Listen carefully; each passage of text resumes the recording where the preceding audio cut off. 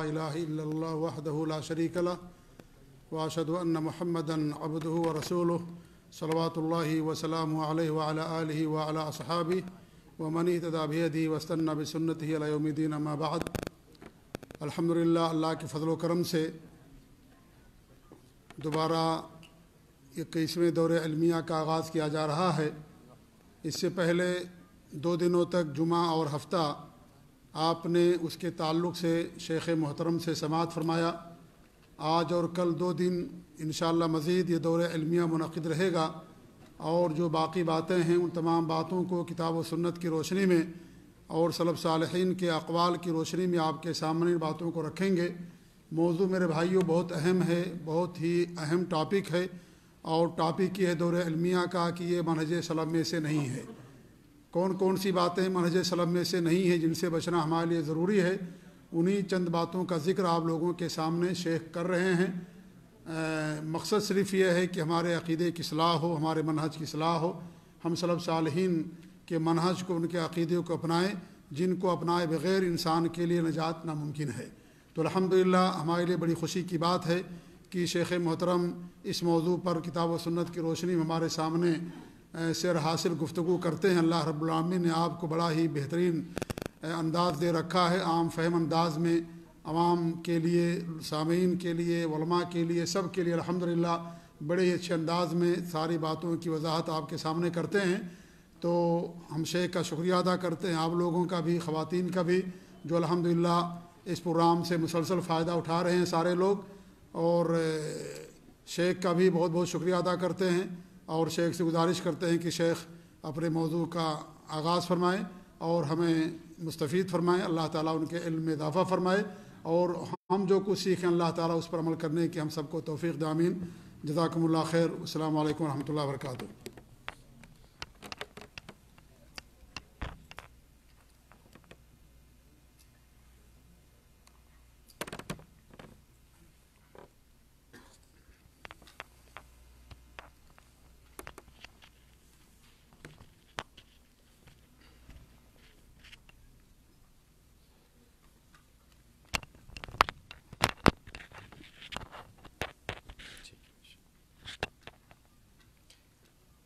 إن الحمد لله نحمده ونستعينه ونستغفره ونعوذ بالله من شرور أنفسنا ومن سيئات أعمالنا من يهده الله فلا مضل له ومن يضلل فلا هادي له وأشهد أن لا إله إلا الله وحده لا شريك له وأشهد أن محمدا عبده ورسوله أما بعد فإن خير الحديث كتاب الله وخير الهدي هدي محمد صلى الله عليه وعلى آله وسلم وشر الأمور محدثاتها وكل محدثة بدعة وكل بدعة ضلالة وكل ضلالة في النار. قال الله تبارك وتعالى واتبع سبيل من أناب إليه وقال جل وعلا ومن يشاقق الرسول من بعد ما تبين له الهدى ويتبع غير سبيل المؤمنين. نوله ما تولى ونصله جهنم وساءت مصيرا. وقال ربنا عز وجل والسابقون الأولون من المهاجرين والأنصار والذين اتبعوهم بإحسان رضي الله عنهم ورضوا عنه.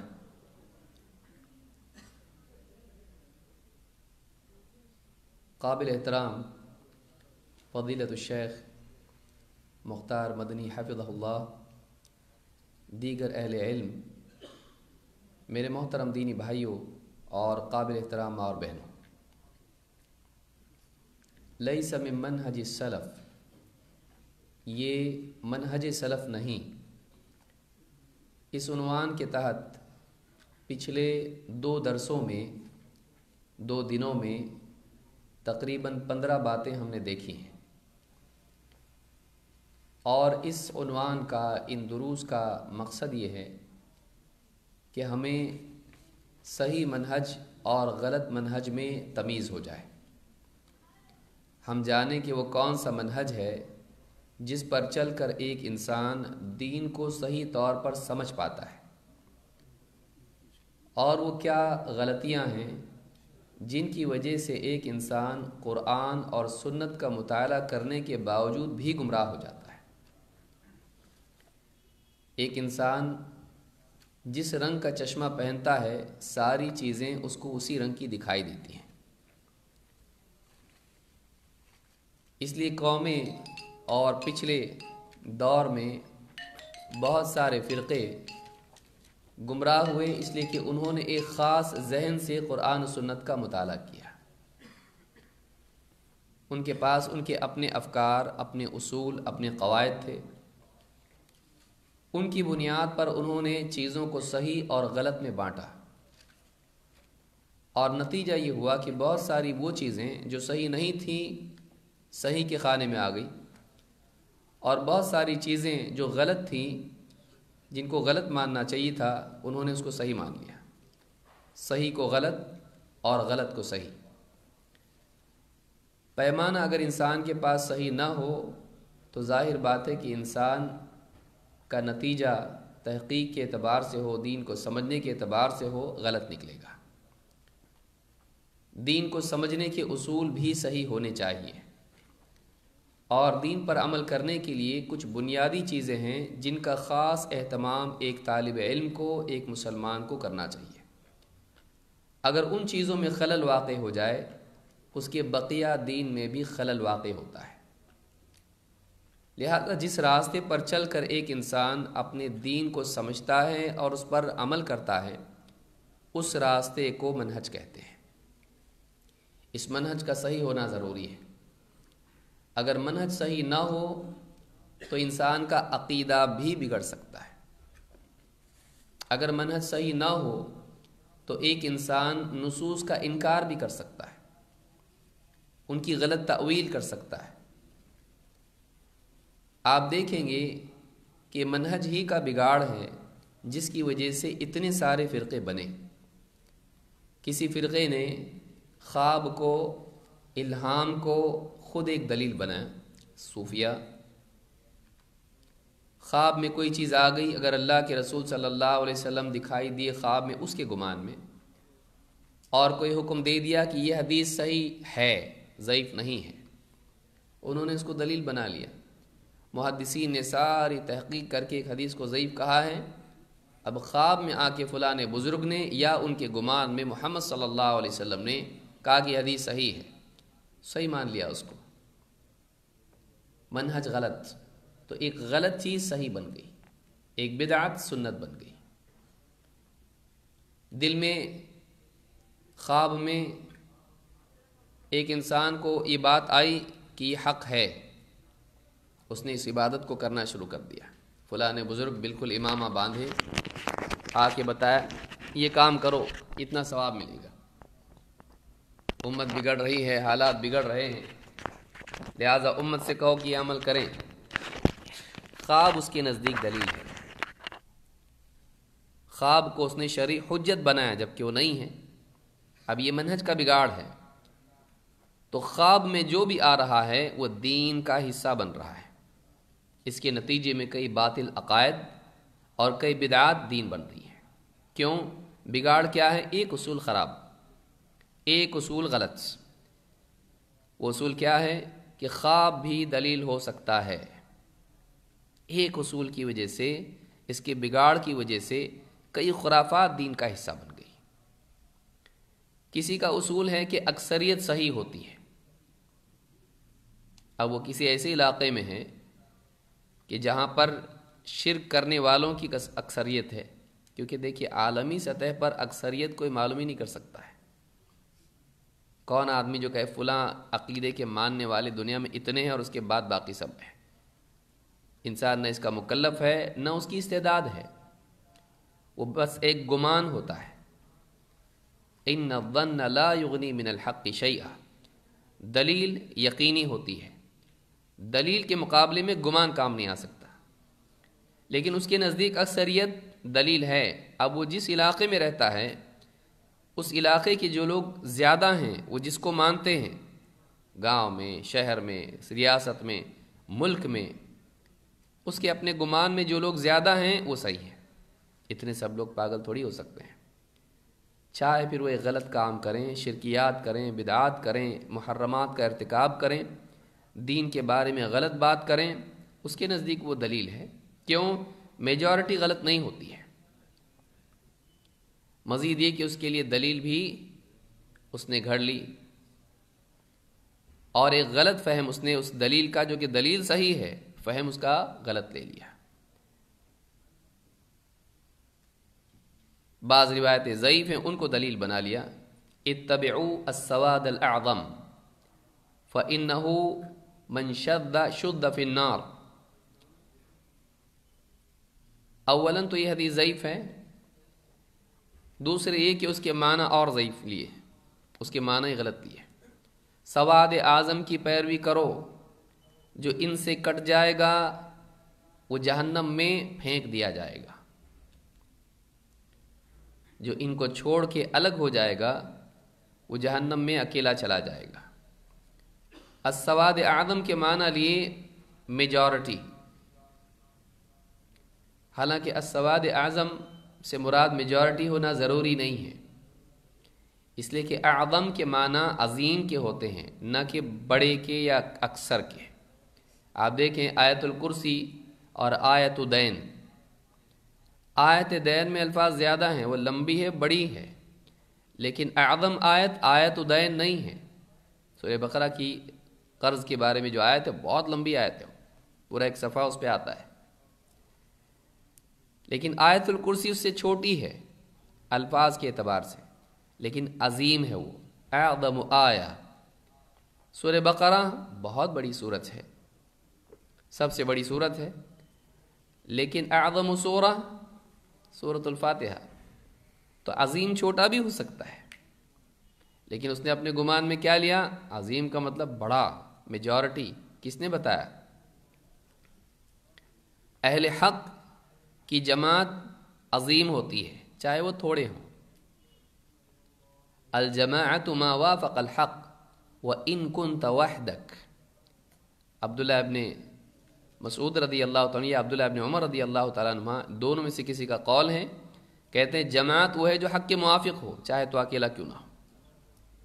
تو الجماع سے مراد حق کے موافق جماعت ہوتی ہے، نہ کہ میجورٹی لیکن اب اصول بنا لیا اور اس حدیث کو بھی اپنے سہارے میں لے لیا کہ میجورٹی صحیح ہوتی ہے۔ اب اس کی زد میں کتنے عقائد اور کتنے احکام آئیں گے؟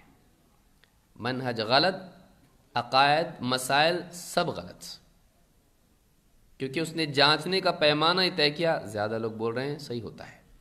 اس مسئلے کے قائلین زیادہ ہے صحیح ہے۔ ضروری نہیں ہے، غلط بھی ہو سکتے ہیں، لیکن قاعدہ اس کا کیا بنا لیا اس نے؟ زیادہ لوگ صحیح ہوتے ہیں۔ تو اس طرح سے زندگی میں آپ دیکھیں گے کسی نے عقل کو پیمانہ بنا لیا۔ افلا تاقلون تم عقل سے کام کیوں نہیں لیتے؟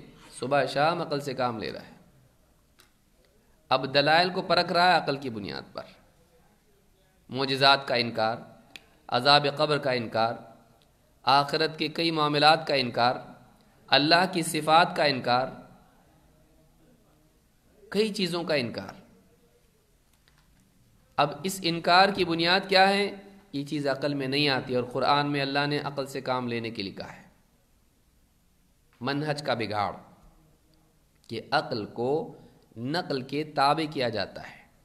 عقل کا استعمال نقل کو، دلیل کو سمجھنے کے لیے ہے۔ پرکھنے کے لیے نہیں۔ تو اب ایک اصول کی غلطی انسان کو انکار حدیث، انکار صفات، انکار معجزات یا انکار نہ صحیح تعویل تک لے جاتا ہے۔ ایسی دور کی تعویل کی جس کی کوئی حیثیت نہ ہو۔ لہذا منہج کا صحیح ہونا بہت ضروری ہے۔ عقائد کا بگاڑ، منہج کے بگاڑ کا نتیجہ ہے۔ بدعات میں وقوع منہج کے بگاڑ کا نتیجہ ہے۔ اگر منہج صحیح نہیں ہوگا تو بہت ممکن ہے انسان کے عقائد اور اس کے احکام، اعمال بگڑ جائیں، اس کی زندگی تباہ ہو جائے۔ اس لیے ایک مسلمان کے لیے ضروری ہے کہ وہ دیکھیں کہ سلف کا منہج دین سمجھنے میں کیا تھا۔ سلف کا منہج دین کے سیکھنے، سمجھنے اور اس پر عمل کرنے میں کیا تھا؟ ان کا تعامل کیا تھا؟ مثال کے طور پر آپ دیکھیں گے، اللہ کے نبی صلی اللہ علیہ وسلم نے دو قبروں پر آپ ان پر سے گزریں آپ نے کہا ان پر عذاب ہو رہا ہے۔ اور ان میں سے ایک کا حال یہ تھا کہ وہ پیشاب سے بچتا نہیں تھا۔ اور دوسرے کا حال یہ تھا کہ یہ چغل خوری کرتا تھا۔ ایک روایت میں ہے کہ غیبت کرتا تھا۔ ابن ماجہ کی روایت میں غیبت کا لفظ ہے۔ صحیح عین میں چغل خوری کا ہے، نمیمہ کا ذکر ہے۔ تو اب آپ صلی اللہ علیہ وسلم نے ٹہنی لی، جو تر تھی، اس کے دو ٹکڑے اس طرح سے درمیان سے چیر کے کیے۔ ایک اس پہ لگا دی، ایک اس پہ لگا دی اور آپ نے کہا کہ بہت ممکن ہے ان سے عذاب ہلکا ہو جب تک کہ سوکھتی نہیں۔ اب بعض لوگوں نے جو چیز شفاعت کے باب سے تھی، اس کو سنت کے باب سے لے لیا۔ جو چیز خصوصیت تھی، اس کو عمومیت میں تبدیل کر دیا۔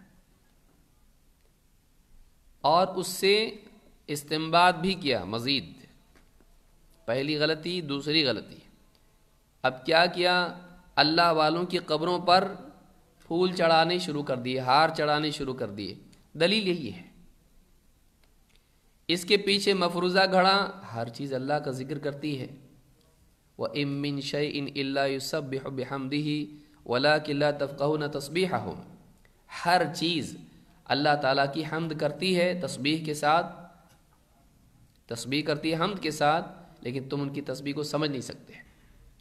تو کہا کہ یہ جو ہلکا ہوا ہے، سوکھنے تک وہ ذکر کرتی ہے ٹہنی لہٰذا اس وجہ سے ہلکا ہوتا ہے۔ تو ہم پھول چڑھاتے رہیں گے اللہ والوں کی قبروں پر۔ کوئی جوڑ نہیں۔ اولاً تو یہ قیاس مال فارق ہے۔ دوسرا، خصوصیت کو عمومیت بنایا۔ اس کو سمجھے کہاں سے غلطی آتی ہے۔ منہج کا بگاڑ کتنی دور تک لے جاتا ہے۔ نمبر ایک، نبی صلی اللہ علیہ وسلم کو معلوم ہوا، دیکھو، علم غیب تھا۔ حالانکہ اللہ کے نبی صلی اللہ علیہ وسلم کو معلوم ہونا اللہ کے بتانے سے معلوم ہوتا ہے۔ تو اب علم غیب کا عقیدہ یہاں سے گھڑا۔ نمبر دو، فاسقین، جن پر عذاب ہو رہا ہے، ان پر قیاس کیا اللہ والوں کو؟ بھائی، جن پر عذاب ہو رہا ہے، عذاب ہلکا کرنے کے لیے کیا گیا؟ اس سے دلیل لے کر تم اللہ والوں کی قبروں پر پھول چڑھا رہے ہو؟ کیا تمہارا یہ استدلال ہے کہ ان پر بھی عذاب ہو رہا ہے؟ اور اللہ کے نبی صلی اللہ علیہ وسلم، جب آپ کو معلوم ہوا تو آپ نے ایسا کیا۔ ہر قبر پر آپ نے کیا؟ نہیں۔ تو تم ہر قبر پر کر رہے ہو؟ تمام قبروں پر، اللہ والوں کی قبروں پر، جو ان کے نزدیک اللہ والے کم سے کم۔ اور عام مسلمانوں پر بھی۔ اور جو خاص چیز تھی، آپ نے بطور سفارش کیا تھا اس کو۔ لیکن انہوں نے کیا کیا؟ اس کو معمول بنا لیا، بطور سنت کیا۔ اب فرق کہاں سے ہوگا؟ اس کو سمجھیے۔ فرق کہاں سے ہوگا کہ یہ بطور سفارش تھا اور خصوصیت تھا یا بطور سنت تھا؟ اگر یہ سنت ہوتا تو صحابہ ساری قبروں پر یہ کرتے ہیں۔ لیکن آپ کو نہیں ملے گا کہ صحابہ قبروں کے اوپر اس طرح سے ٹہنی لگاتے تھے۔ تو یہ جو چیز ہے، یہ خاص تھا رسول صلی اللہ علیہ وسلم کے ساتھ۔ اور آپ نے سفارش کی اللہ تعالیٰ سے، اور آپ نے امید بتائی کہ بہت ممکن ہے اللہ تعالیٰ ان کے عذاب کو ہلکا کرے۔ ہٹائے نہیں کہا، ہلکا کرے۔ اور اس کی بھی حد بتائی کہ جب تک یہ سوکھتی نہیں ہے۔ لیکن لوگوں نے اس کو کیا کر دیا؟ اس کو سنت بنا لیا کہ یہ نبی سے ثابت ہے۔ حالانکہ اگر ایسا ہوتا تو صحابہ کی روایتیں ملتی عام طور سے کہ جب بھی ان وہاں دفن ہوتا خود نبی صلی اللہ علیہ وسلم کے زمانے میں کئی لوگوں کو دفن کیا گیا۔ لیکن آپ نے کسی کی قبر پہ نہیں لگایا۔ تو آپ دیکھیں گے کہ منہج کا بگاڑ، اصولوں کا بگاڑ انسان کو کس طرح سے غلط راستے پر ڈال دیتا ہے۔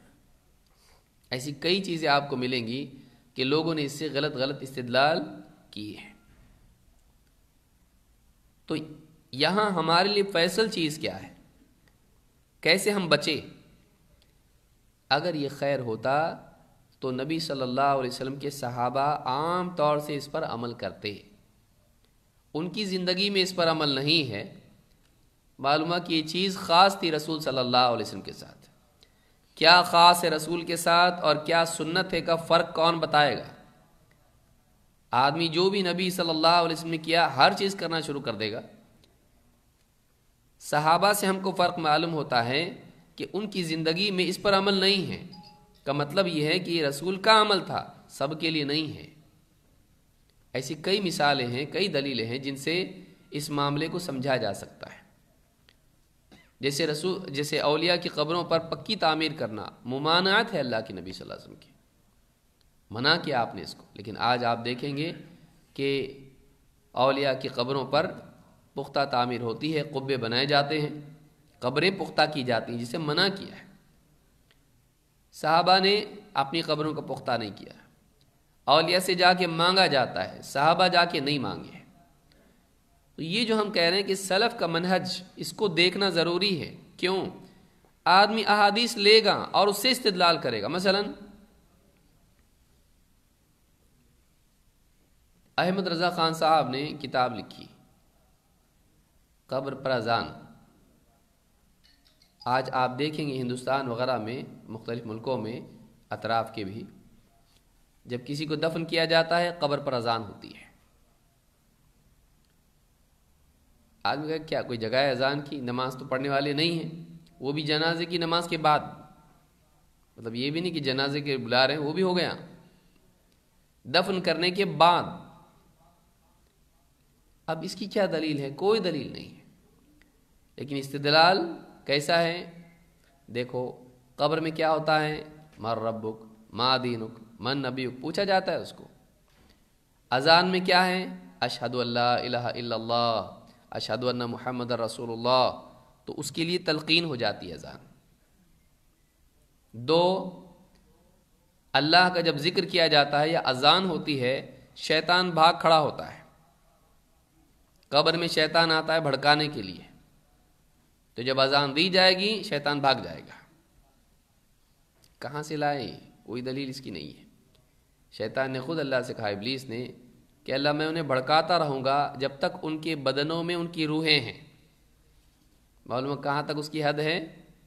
جب تک آدمی کے جسم میں اس کی روح ہے۔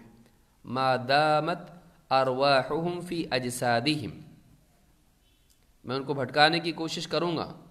جب تک ان کی روحیں ان کے بدن میں باقی ہیں، کیونکہ وہ دار العمل میں ہے اب موت ہونے کے بعد دار العمل ختم، اب دار الجزا میں چلا گیا ہو وہاں قبر میں کیا بھڑکائے گا وہ؟ لیکن عقیدہ گھڑا کہ وہ قبر میں آ کے بھڑکاتا ہے۔ اور وہاں پر اذان دینے سے جیسے دنیا میں بھاگ کھڑا ہوتا ہے، اذان سن کے بھاگے گا وہ، بچ جائے گا ہمارا بھائی۔ جب تک زندہ ہوتا ہے، کوئی بچانے کی کوشش کرتا نہیں۔ جیسی مر جاتا ہے، فوراً سب فکر مند ہو جاتے ہیں، کسی طرح سے اس کو بچائیں۔ اس طرح سے کئی دلائل انہوں نے ذکر کیے اس کتاب میں۔ لیکن یہ عمومات ہیں۔ اور اہل بدعات کا یہی طریقہ ہوتا ہے کہ مسائل جو خاص ہوتے ہیں، ان میں عام دلیل لیتے ہیں۔ جیسے فاتحہ دینے کی دلیل کیا ہے؟ یا گلے میں تعویذ پہننے کی دلیل کیا ہے؟ وَنُنَزِّلُ مِنَ الْقُرْآنِ مَا هُوَ شِفَاءٌ۔ ہم قرآن میں سے اس قرآن کو نازل کرتے ہیں جس میں شفا ہے۔ اب شفا کی دلیل لے لی اور جس طریقے سے چاہا شفا حاصل کرنے کی کوشش کی۔ تعویذ بنا کے گلے میں ڈال دیا۔ اور اگر کوئی منع کرے اس کو تو کہا جائے گا کہ دیکھیے گلے میں تعویذ جو پہنا ہے اس نے قرآن میں ہے کہ نہیں؟ قرآن شفا ہے۔ ہاں۔ تو بس شفا اس لیے ڈالا۔ شفا ہے لیکن کس طرح سے اس کا شفا کا طریقہ کیا ہے؟ وہ تم جو جی میں کرو گے کوئی دلیل اس کی نہیں ہے۔ بھائی قرآن میں شہد میں بھی تو شفا ہے نا۔ کیا کریں گے؟ شیشی لے کے گلے میں باندھیں گے؟ بولے قرآن میں یہ بھی ہے۔ ہر چیز کے استعمال کا ایک طریقہ ہوتا ہے۔ کوئی دوا کھانے کی ہوتی ہے، کوئی دوا پینے کی ہوتی ہے، کوئی لگانے کی ہوتی ہے، کوئی پڑھنے کی ہوتی ہے۔ قرآن کے لفظی معنی کیا ہے؟ پڑھی جانے والی چیز مقروع کے معنی میں ہے۔ ایسی چیز جس کو پڑھا جائے۔ تو قرآن میں شفا ہے تو قرآن پڑھنے کو کہتے ہیں۔ وہ پڑھنے کی چیز ہے، پڑھنے کی چیز سے شفا ملے گی۔ اب اس کے لیے دیکھا جائے کہ سلف بیماریوں کے علاج کے لیے قرآن کا کیا کرتے تھے؟ گلے میں باندھتے تھے یا پڑھتے تھے؟ عائشہ رضی اللہ تعالیٰ معاوضات پڑھ رہی ہیں۔ اللہ کے نبی صلی اللہ علیہ وسلم معاوضات پڑھ رہے ہیں۔ صحابی نے قبیلے والے کا علاج کیا، سورہ فاتحہ سے کیسا کیا؟ گلے میں باندھ دیا، کچھ اس کے پڑھا اس پر۔ تو سلف سے ہم کو پڑھنے کا طریقہ ملتا ہے، باندھنے کا نہیں۔ شہد کے بارے میں پینے کا طریقہ ملتا ہے، باندھنے کا نہیں۔ لیکن قرآن کے لیے تو باندھنا لے لیے، شہد کے لیے نہیں، کیونکہ ہنسے گا کوئی بھی، کہ باندھنے کی چیز ہے، پینے کی چیز ہے یہ۔ تو جب دلیل ملی شہد کے لیے پینے کی، تو پئیں گے، اس کو باندھیں گے نہیں۔ تو قرآن کے لیے جب پڑھنے کی ملی ہے، تو اس کو باندھنے کی دلیل کیا ہے؟ اگر آدمی صحابہ کو نہ دیکھے، سلف کو نہ دیکھے، تو ایک آدمی قرآن اور سنت کے مطالعے کے بعد بھی گمراہ ہو سکتا ہے۔ بلکہ بعض لوگوں نے دلیل لی۔ اب بعض اوقات آدمی کیا کرتا ہے، ترجمے پڑھتا ہے اور امام البخاری سے دو قدم آگے جاتا ہے۔ جو استدلال انہوں نے بھی نہیں کیا ہے، وہ کرتا ہے۔ اب ترجمہ پڑھا۔ نبی صلی اللہ علیہ وسلم اپنے دونوں نواسے، حسن اور حسین رضی اللہ تعالیٰ نما کا تعویز کرتے تھے۔ اب پڑھا تعویز تعویز سنتے ہی یہ مصیبت ہے انسان کی۔ اس کی جو اصطلاحات ہوتی ہیں، اپنے علاقے کی اصطلاحات وہ قرآن و سنت پہ فٹ کرتا ہے۔ تاغت کا بھی ہم سنے تھے۔ اپنے ذہن میں جو اس کے ایک تصویر ہوتی ہے، اس کی تعریف ہوتی ہے، وہ فٹ کرتا ہے قرآن و سنت کے الفاظ پر۔ قرآن و سنت میں تعوض اور تعویز کس کو کہتے ہیں؟ اللہ کی پناہ حاصل کرنا۔ لیکن وہ تعویذ کیسے ہوتا ہے؟ ہم کو اللہ نے کیا فرمایا؟ جب تم قرآن پڑھو تو شیطان کے مقابلے میں اللہ کی پناہ مانگو۔ اس کو کیا کہتے ہیں؟ قاری جانتا ہے، تجوید والا۔ تعوض کہتے ہیں اس کو۔ اب تعوض کیا کہتا ہے؟ اعوذ باللہ من الشیطان نے لکھ لیا، گلے میں باندھ لیا۔ جب بھی قرآن پڑھنا ہے، چوم رہا ہے اس کو۔ اللہ کی پناہ کیسے حاصل کرتا ہے؟ پڑھ کے۔ تو ویسے ہی اللہ کے نبی صلی اللہ علیہ وسلم دعا پڑھتے تھے ان پر۔ تعویذ وہ ہیں پڑھنا، تمیمہ باندھا جاتا ہے۔ لیکن ہمارے ملکوں میں کیا ہے؟ تعویذ کا لفظ استعمال ہوتا ہے تمیمہ کے لیے۔ تو لوکل ایکسپلینیشن کو انٹرنیشنل چیز پر فٹ کر دیا۔ اپنی علاقائی تشریح کو اس نے کیا کر دیا؟ عربی معنی پر فٹ کر دیا۔ لاکھ سمجھا وہ نہیں مانے گا۔ یہ منہج کا فرق ہے، بگاڑ ہے۔ کیوں؟ اس نے نہیں دیکھا کہ تعویذ کے واقعی معنی کیا ہے نبی صلی اللہ علیہ وسلم تعویذ کیسے کرتے تھے؟ اعوذ بکلمات اللہ التامہ من کل شیطان وہامہ ومن کل عین اللامہ یہ دعا پڑھتے تھے، اور بھی دعائیں آئی ہیں۔ پڑھتے تھے، گلے میں نہیں باندھتے تھے۔ تو اس پوری بات کا خلاصہ کیا ہے؟ کیوں یہ بات؟ ایک آدمی کہے گا، قرآن و سنت پہ چل رہا نا، میں اب اس سے زیادہ کیا چاہیے آپ کو؟ ہاں لیکن تو قرآن و سنت پر نہیں، اس کے فہم پر چل رہا ہے، اور وہ فہم تیرا ہے نام قرآن و سنت کا ہے، متن قرآن و سنت کا ہے۔ لیکن فہم کس کا ہے؟ تیرا عملی تطبیق کا طریقہ کس کا ہے؟ تیرا تو تو اپنے دین پر چل رہا ہے اللہ کے نہیں۔ کتنی عجیب بات ہے۔ ایک آدمی یہ سمجھ رہا ہو کہ میں اللہ کے دین پر چل رہا ہوں، لیکن وہ اللہ کے دین پہ نہیں۔ وہ اپنی سوچ سے جس کو اس نے دین سمجھا، اس پر چل رہا ہے۔ اس سے بہت غلطی ہو سکتی، کیونکہ ویریفیکیشن کہاں ہے اس کا؟ کس کا ویریفیکیشن ہے؟ صحابہ کا۔ اللہ کے رسول صلی اللہ علیہ وسلم کی طرف سے ہیں اور اس سے اوپر اللہ رب العالمین کی طرف سے ویریفیکیشن ہے۔ اللہ راضی ان سے۔ رضی اللہ عنہم ورضو عنہ۔ اللہ ان سے راضی ہو گیا۔ ان کے لیے بتعین ہے، بعد والوں کے لیے بشرط ہے۔ یاد رکھیے اس کو۔ ان کا نام لے کے کہا وہ سابقن من المہاجر مہاجرین والانصار ان کے لیے تو رضا کا رضا نام لے کے ہے۔ بعد والوں کے لیے شرط کے ساتھ ہے۔ والذین تبعوہم بإحسان۔ جنہوں نے احسان کے ساتھ ان کی پیروی کی۔ جو پیروی احسان کے ساتھ کریں گے، ان کے لیے وعدہ جو نہیں کریں گے، نہیں۔ ان کا تو نام لے کے کہا ہے۔ ان کے لیے شرط نہیں ہے کچھ۔ فرق ہے نا؟ ان کے لیے تعین کے ساتھ ہے، نام لے کے ہیں۔ بعد والوں کے لیے شرط کے ساتھ ہے وہ بھی شرط ان کے ساتھ جڑی ہوئی ہے، جنہوں نے ان کی پیروی کی ہے۔ تو فی نفسی مقبول ہیں وہ۔ لہذا ہم یہ کہتے ہیں کہ دین کے سمجھنے کے لیے سلف کی، سلف کے منہج کو سمجھنا ضروری ہے۔ اور سلف میں سب سے پہلے کون آتے ہیں؟ صحابہ۔ ان کے امام کون؟ محمد رسول اللہ صلی اللہ علیہ وسلم۔ تو یہ جو ہمارا یعنی کورس یا دورہ یا یہ جو محاورہ ہمارا ہو رہا ہے، یہ جو درس ہمارا ہو رہا ہے، اس کا یہ مقصد ہے کہ ہم یہ نہ سمجھیں قرآن، حدیث، بس۔ ایک تو بڑا طبقہ وہ ہے جو قرآن و حدیث نہیں گمراہ ہو جائیں گے۔ ان کو تو چھوڑ دو آپ، یہ الگ ہیں۔ لیکن ایک ایسا طبقہ بھی ہے جو قرآن و حدیث بولتا ہے، لیکن اس کا اپنا فہم ہے قرآن و حدیث کا، اور اس میں غلطی کا امکان بہت بڑا ہے۔ بہت بڑا ہے شیطان اس کو گمراہ کر سکتا ہے۔ حدیث کا کچھ بھی مطلب بتا دیا، قرآن کا کچھ بھی مطلب بتا دیا، گمراہ ہو سکتا ہے۔ تو اس کے لیے ضروری ہے، اسی اسی لیے آپ دیکھیں گے کہ اللہ رب العالمین نے کیوں جوڑا رسول کے ساتھ؟ کیوں شرط بنایا صحابہ کو؟ فن آمن و بمتلما آمن تم بھی فقد احتدو اگر یہ صحابہ کی طرح، تمہاری طرح ایمان لے آئیں، اہل کتاب تو ہدایت پر ہیں۔ صحابہ کا ذکر کیوں؟ قرآن و حدیث بولنا چاہیے تھا۔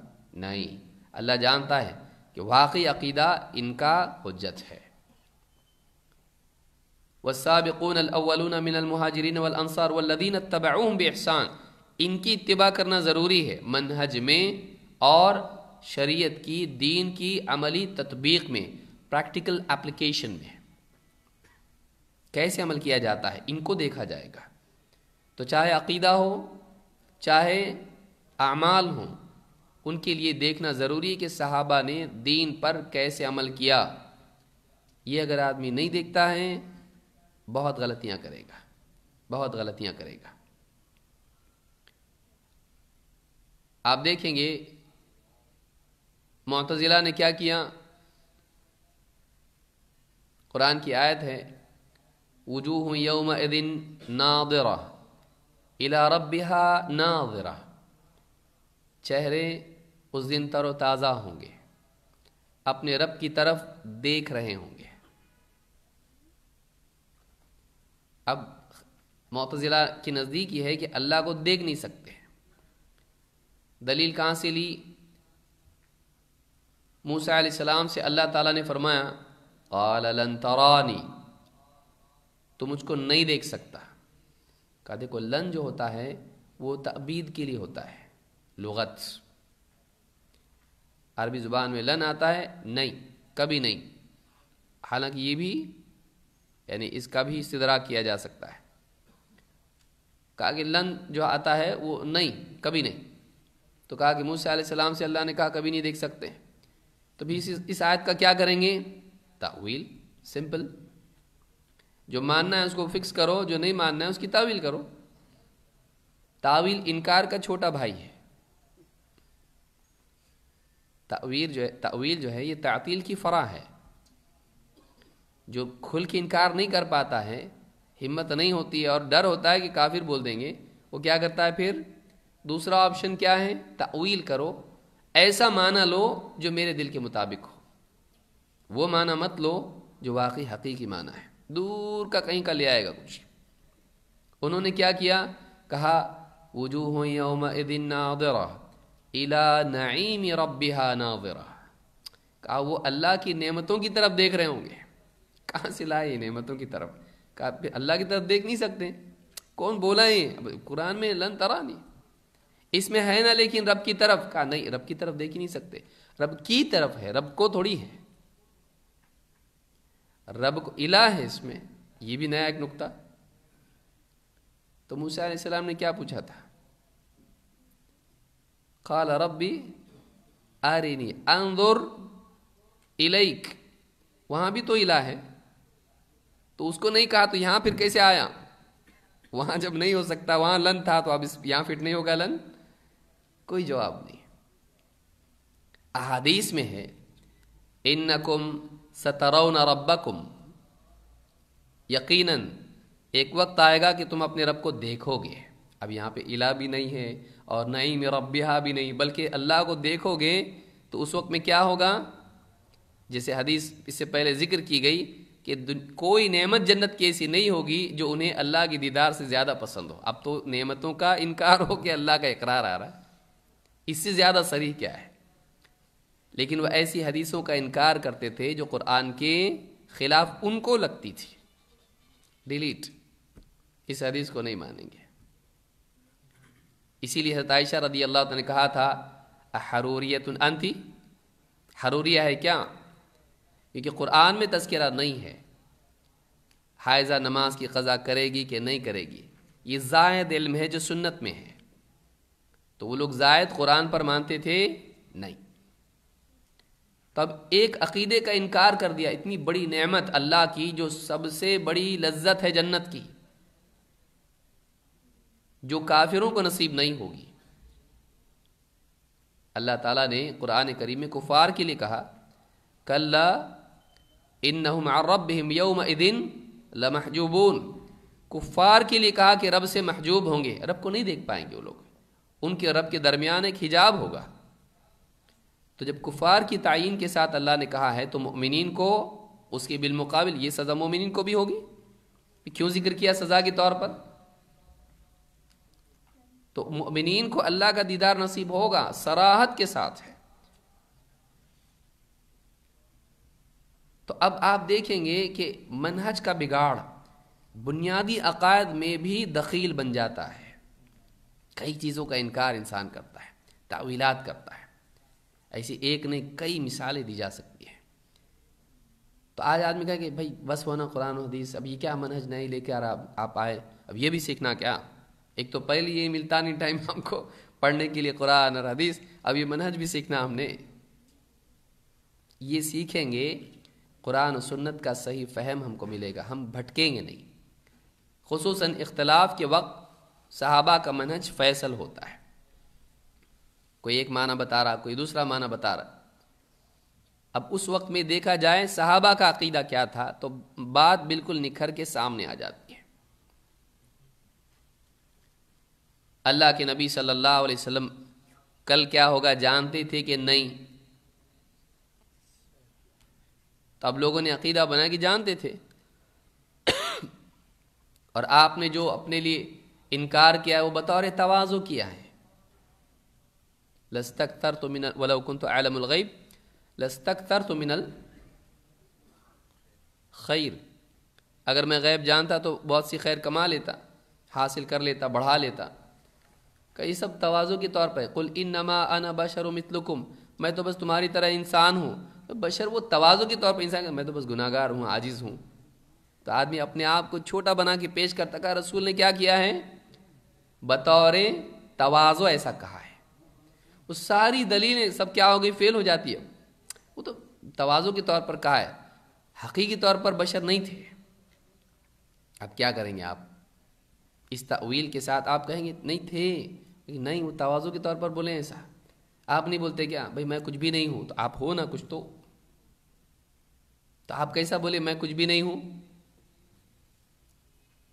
اب صحابہ کو جب ہم دیکھتے ہیں، عائشہ رضی اللہ تعالیٰ فرماتی ہیں کہ کان رسول اللہ صلی اللہ علیہ وسلم بشرم من البشر۔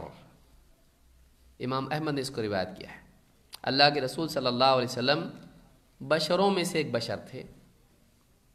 اب یہ کیا کر رہی ہیں؟ مطلب توازوں کے طور پر بول رہی ہیں۔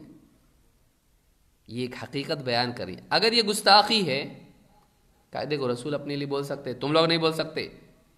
شیطان نے بولا تھا، میں بشر کو سدا نہیں کروں گا، تو بشر بولنا شیطان کا طریقہ ہے۔ رسول صلی اللہ علیہ وسلم بشر نہیں تھے۔ تو اب عائشہ رضی اللہ تعالیٰ کو کیا کہیں گے؟ انہوں نے تو سراتن کہا، تو یہ دلیل بنتا ہے کہ صحابہ رسول اکرم صلی اللہ علیہ وسلم کو بشر مانتے تھے۔ ایسی کئی باتیں ہیں، علم غیب کا مسئلہ ہے۔ عائشہ رضی اللہ تعالیٰ خود فرماتی ہیں منظام ان محمد صلی اللہ علیہ وسلم یہ علم معافی غدن فقط اعظم علی اللہ الفریہ. جو اس بات کا دعویٰ کر کے محمد صلی اللہ علیہ وسلم جانتے تھے، کل کیا ہوگا؟ اس نے اللہ پر جھوٹ گڑا، بہت بڑا جھوٹ۔ تو اب اس کا کیا جواب ہے؟ ایک صاحب سے بات کرتے کرتے کہا، یہ سب آیتیں ہیں، لیکن رسول صلی اللہ علیہ وسلم کی اتنی ساری پیشن کو ان کا کیا کریں گے آپ؟ وہ پرانی آیتیں ہیں، بعد میں دے دیا گیا۔ وہ آیتیں جتنی جن میں بھی ہیں کہ علم غیب میں نہیں جانتا، یہ کیا ہیں؟ یہ پہلے کی بات ہیں۔ بعد میں اخیر اخیر میں اللہ تعالیٰ نے علم غیب دے دیا تھا۔ اب آپ کیا کریں گے؟ ناسخ منسوخ بنا رہا اس کو۔ اور تم ہی بولتے ہیں نا قرآن کو سمجھنے کے لیے حدیث ہے، لو۔ آپ کیا کریں گے؟ تو ٹھیک ہے، نبی صلی اللہ علیہ وسلم کی زندگی کے بعد جب صحابہ آپ کے بارے میں بات کریں گے، پھر تو وہ یہی بولیں گے، علم غیب تھا، پہلے نہیں تھا، بعد میں تھا۔ پھر حتائشہ کا قول کیا بول رہا ہے؟ حتائشہ کیا کہہ رہی ہیں؟ جو بولے ارے بھائی، آگے کی باتیں نہیں، کل بول رہے ہیں۔ قول میں بھی کیسی مضبوط بات ہے دیکھیے، دو دن تک، تین دن تک، کب تک؟ کل نہیں۔ جو کہے کہ اللہ کے نبی صلی اللہ علیہ وسلم، کل کیا ہوگا جانتے ہیں، اس نے اللہ پر جھوٹ کھڑا اور دلیل میں آیت پیش کی کہ من فی السماوات والارض الغیب الا اللہ اے نبی، آپ کہہ دیجیے کہ آسمانوں میں اور زمین میں کوئی نہیں جو غیب جانتا ہو۔ غیب جانتا ہے تو صرف اللہ جانتا ہے۔ وہ آسمان و زمین کی قید کے ساتھ نہیں ہے، جاننے کے ساتھ جڑا ہوا ہے۔ ورنہ اللہ کو آسمان و زمین میں نہیں لا سکتے ہیں۔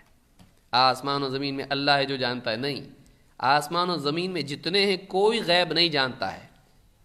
اگر جانتا ہے تو اللہ، لیکن وہ آسمان و زمین میں نہیں ہے، اس سے اوپر ہے۔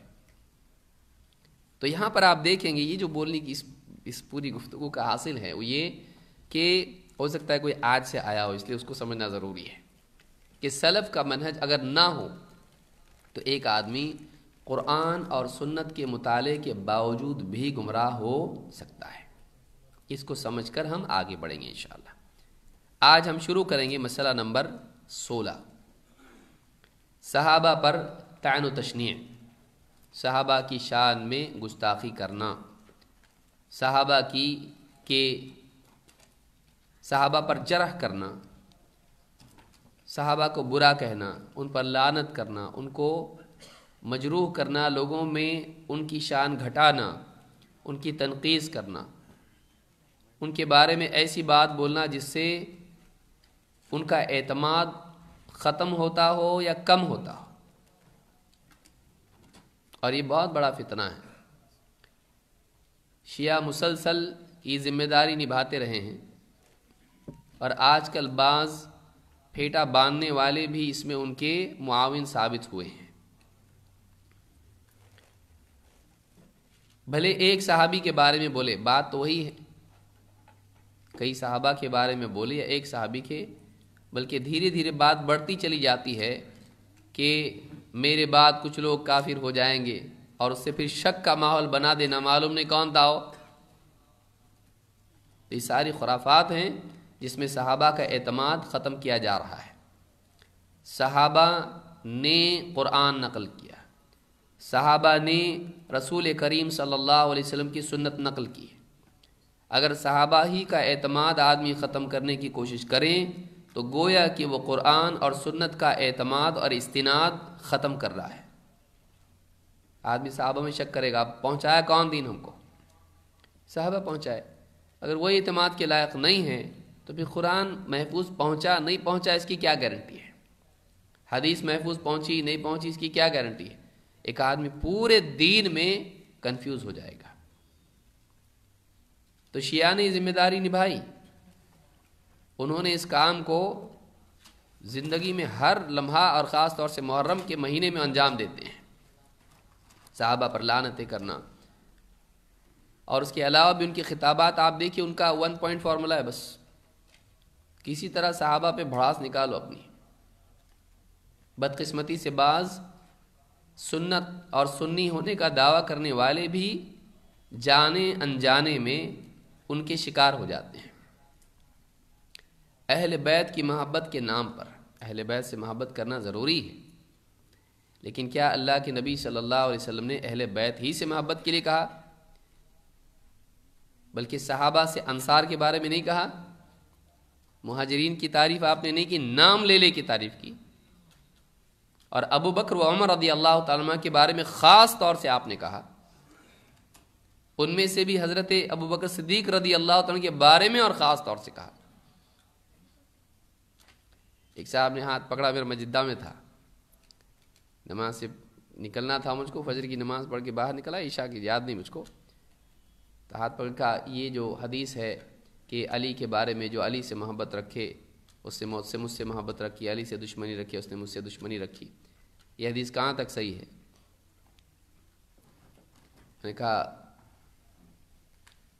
حدیث میں آیا ہے، روایت ہے، ابن ماجہ کی ہے، اور بھی کچھ روایتیں ہیں۔ اس میں اگرچہ اختلاف ہے، لیکن بعض علماء نے، کئی علماء نے اس کو صحیح کہا ہے۔ کہ من کن تو مولا ہو فعلی مولا اس کو سمجھ لے اچھے سے۔ بعض اوقات ٹارگٹ آگے کا کچھ اور ہوتا ہے۔ میں نے کہا یہ حدیث اپنی جگہ ہے، صحیح ہے، لیکن اس کے وہ معنی نہیں ہے جو محمد علی انجینئر لیتا ہے۔ اس میں یہ مراد ہے کہ جو علی سے محبت کرے گا، وہ مجھ سے ضرور محبت کرے گا۔ تو کہا کہ یہ جو بات حضرت علی کے بارے میں ہے، ان کا نام لے کے کہا، اتنی بڑی بات۔ کسی اور کے بارے میں کیوں نہیں کہا یا نہیں کہا اس طرح سے؟ میں نے کہا اس سے بڑی بات ہے۔ وہ کیا ہے؟ کابو بکر صدیق رضی اللہ تعالیٰ کے بارے میں ہے۔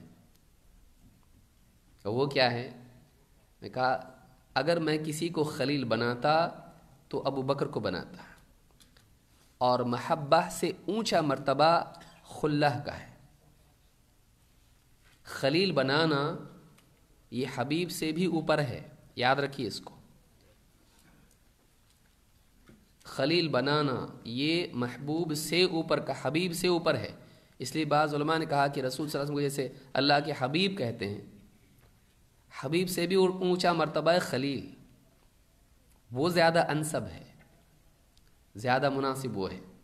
تو کہا یہ بات تو ابو کا صدیق کے بارے میں کہی، تو خلیل تو بڑا ہوتا ہے محبوب سے۔ ان کے بارے میں جو بات کہی، وہ حضرت علی کے بارے میں نہیں کہی، دونوں کا اپنا مقام ہے۔ لیکن اب تو خاموش ہو گیا اہل بیت کے نام پر، حضرت علی کی محبت کے نام پر۔ اور یہ روایت، من کن تم مولا علی مولا علی۔ کسی صحابی نے، کسی سلف میں سے کسی نے کہا، مولا علی۔ من کن تو مولا فعلی مولا یہ تو اپنی جگہ ہے۔ اس کی صحت اور سمجھ لیجیے ذوف کی اختلاف کے باوجود جنہوں نے اس کو صحیح مانا ہے۔ انہوں نے بھی یہ نہیں کہا کہ حضرت علی کو مولا علی کہیں۔ ہر جب بھی تذکرہ آئے، مولا علی فرماتے، مولا علی فرماتے، یہ لقب دینا اس طرح سے اور ان کا نام آئے تو اس طرح سے لقب لینا، یہ کہاں ہے؟ اور شیعہ کی مشابہت ہم کیوں کریں؟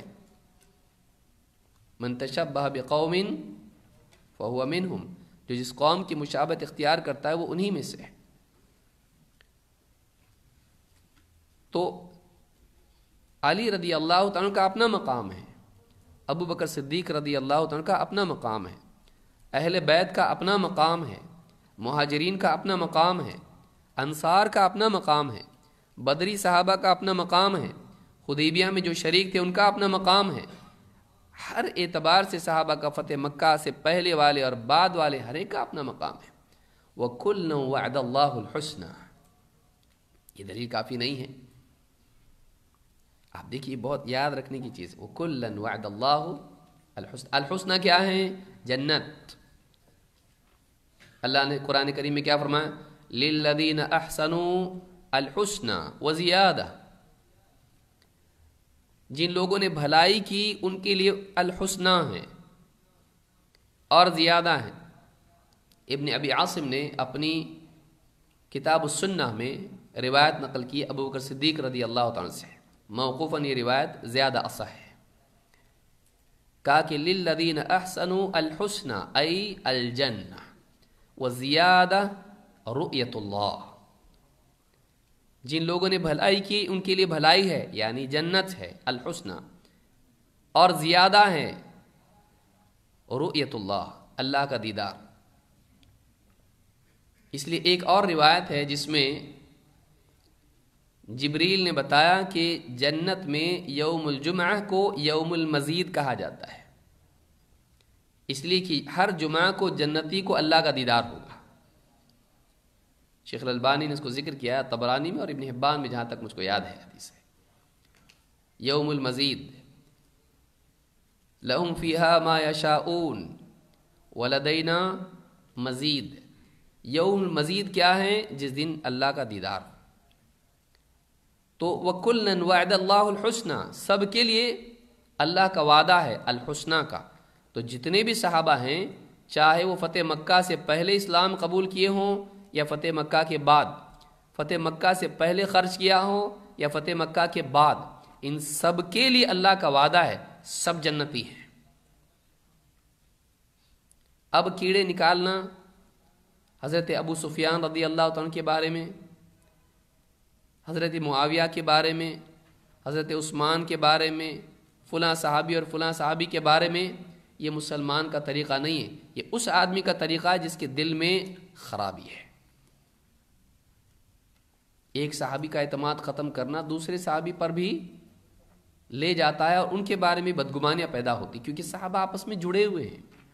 واقعات میں آپس میں مربوط ہیں وہ لوگ۔ تو ایک کا اعتماد ختم کرنا دوسروں کا بھی اعتماد ختم کرتا ہے۔ سلف ہمیشہ سے اس معاملے میں الرٹ رہے۔ لیکن یہاں شبہ پیدا ہوتا ہے ایک اور اور بعض لوگ اس کو بطور دلیل پیش کرتے ہیں۔ اس کو یاد رکھیے۔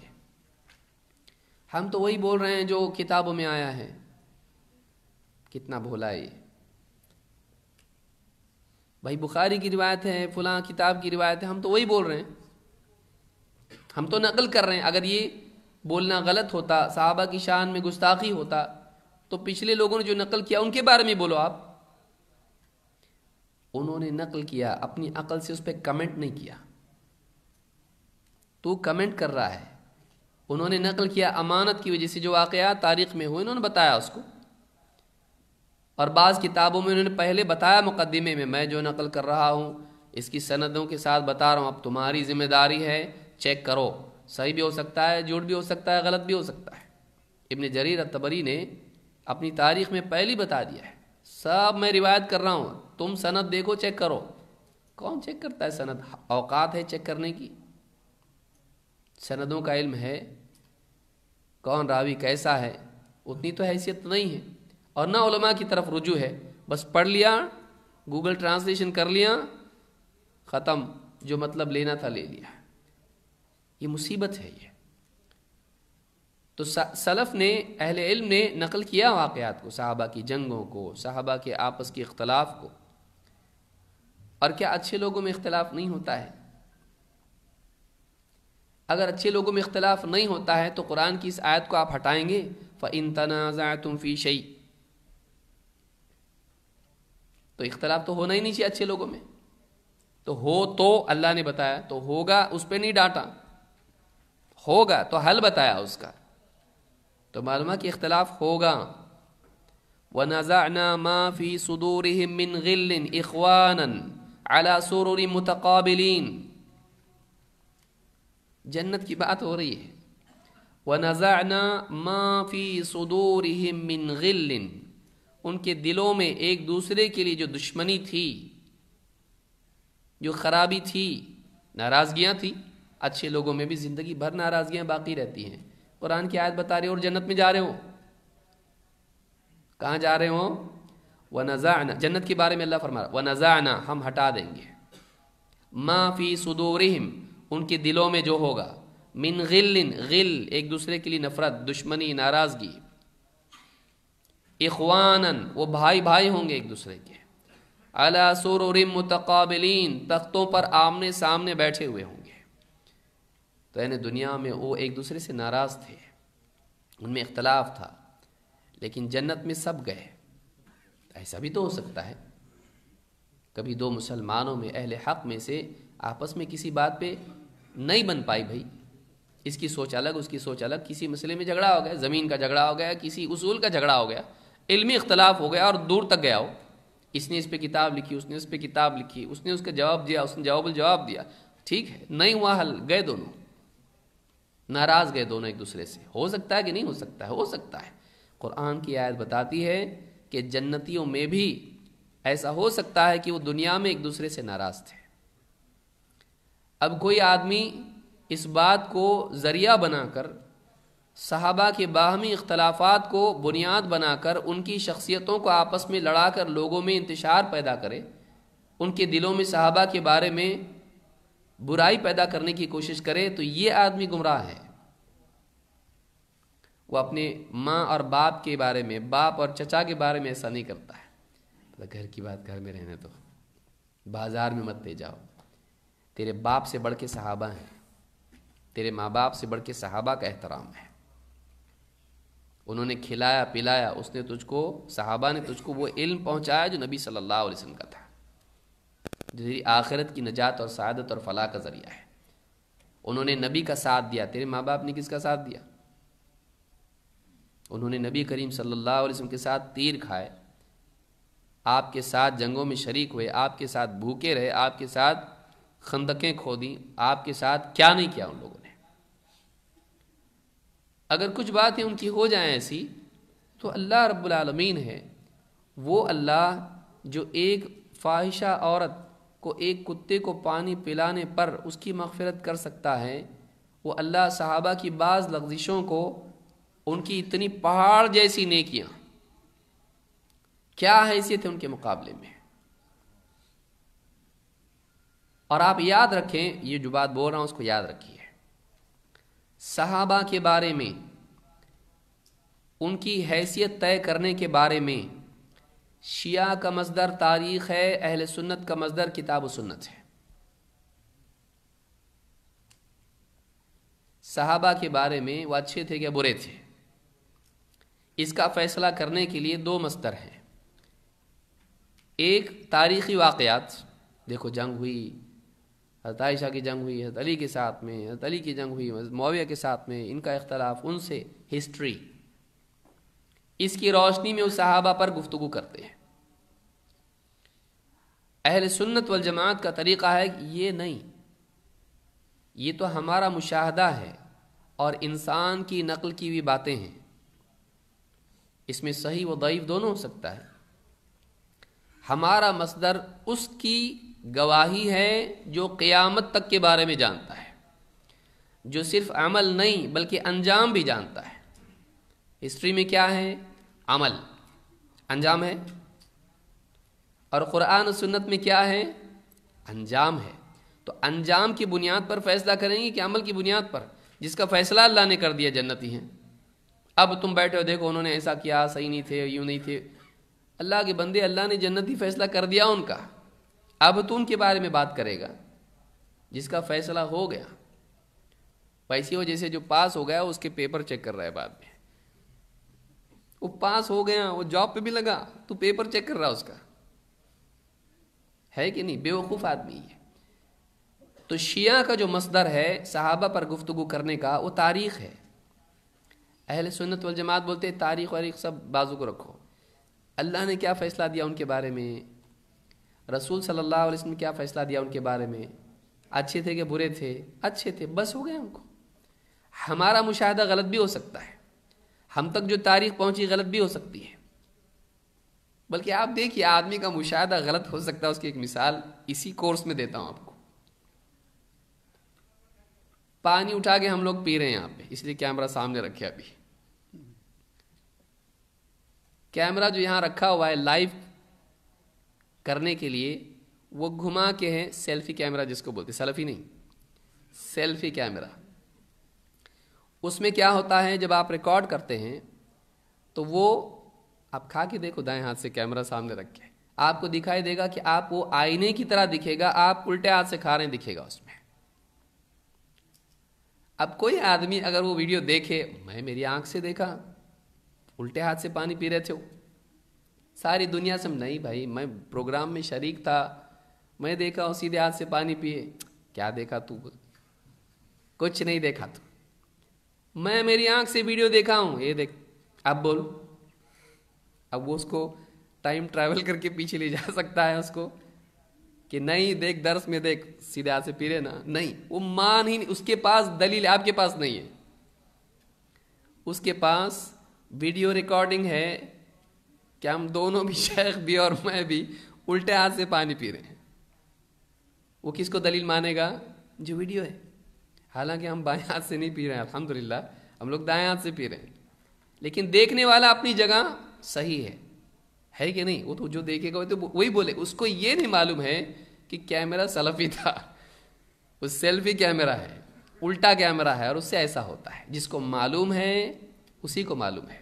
لیکن وہ مانے گا، نہیں، کیونکہ اس کے سامنے مشاہدہ وہی بتا رہے ہیں۔ نہیں بھائی، الٹے ہاتھ سے پی رہے، بائیں ہاتھ سے پی رہے۔ ہیں قسم کھا کے بول رہا ہوں، میں دیکھا میری آنکھ سے وہ قسمیں کھائے گا۔ تو غلط ہے کہ نہیں وہ؟ تو ایک آدمی کو اتنی بڑی غلط فہمی ہو سکتی ہے، اس کی دلیل فالٹی ہو سکتی ہے اور وہ یہ سمجھ رہا ہے دلیل صحیح ہے۔ تو بعض اوقات انسان کا مشاہدہ بھی غلط ہو سکتا ہے۔ تو ہم تو تاریخ میں کیا ہوا دیکھ رہے ہیں ابھی بیٹھ کے؟ کیمرہ ہے ہمارے پاس سیلفی کیمرہ نہیں ہے۔ ہم کو تو معلوم نہیں ہے کتنی توجیحات اس کی ہو سکتی ہیں، کتنے معاملات اس کے کچھ کے کچھ چھپے رہ سکتے ہیں ہم سے۔ کتنی روایتیں جھوٹی ہو سکتی اس کے اندر۔ ہوا کچھ پہنچانے والے نے بتایا کچھ کچھ بھی ہو سکتا ہے۔ یہاں بیٹھ کے ایک آدمی یقین نہیں کر رہا آپ کی بات پر۔ اور غلط فہمی مبتلا ہو رہا ہے، اپنی آنکھوں سے دیکھ کے بھی غلط جا رہا ہو۔ غلط نتیجے پہ پہنچ رہا ہے۔ جس کو دیکھا نہیں، اس میں کتنی غلطی کے امکانات ہیں۔ لہذا آدمی کو چاہیے کہ جب اللہ رب العالمین نے رسول اکرم صلی اللہ علیہ وسلم نے صحابہ کے بارے میں فیصلہ دے دیا وَقُلْ نَوَعْدَ اللَّهُ الْحُسْنَ جب اللہ رب العالمین نے ان کے لیے جنت کا وعدہ کیا، رضی اللہ عنہم ورضو عنہ، ان کے بارے میں صاحب بتا دیا، اللہ ان سے راضی، وہ اللہ سے راضی۔ تو کون ہوتا ہے ان کے بارے میں کلام کرنے والا؟ تجھ کو حق نہیں ہے۔ جس کی تعدیل اللہ تعالیٰ نے کی، جس کی تعدیل آتھینٹسٹی اللہ کے رسول صلی اللہ علیہ وسلم کی طرف سے آئی ہے تو ان پر جرح کر کے اپنے کو مجروح ثابت کر رہا ہے۔ آدمی سورج پر تھوکے گا تو تھوک کہاں جائے گا؟ تو یہ معاملہ ہے۔ تو صحابہ کا احترام دین ہے۔ صحابہ کا احترام دین ہے۔ ایمان ہے۔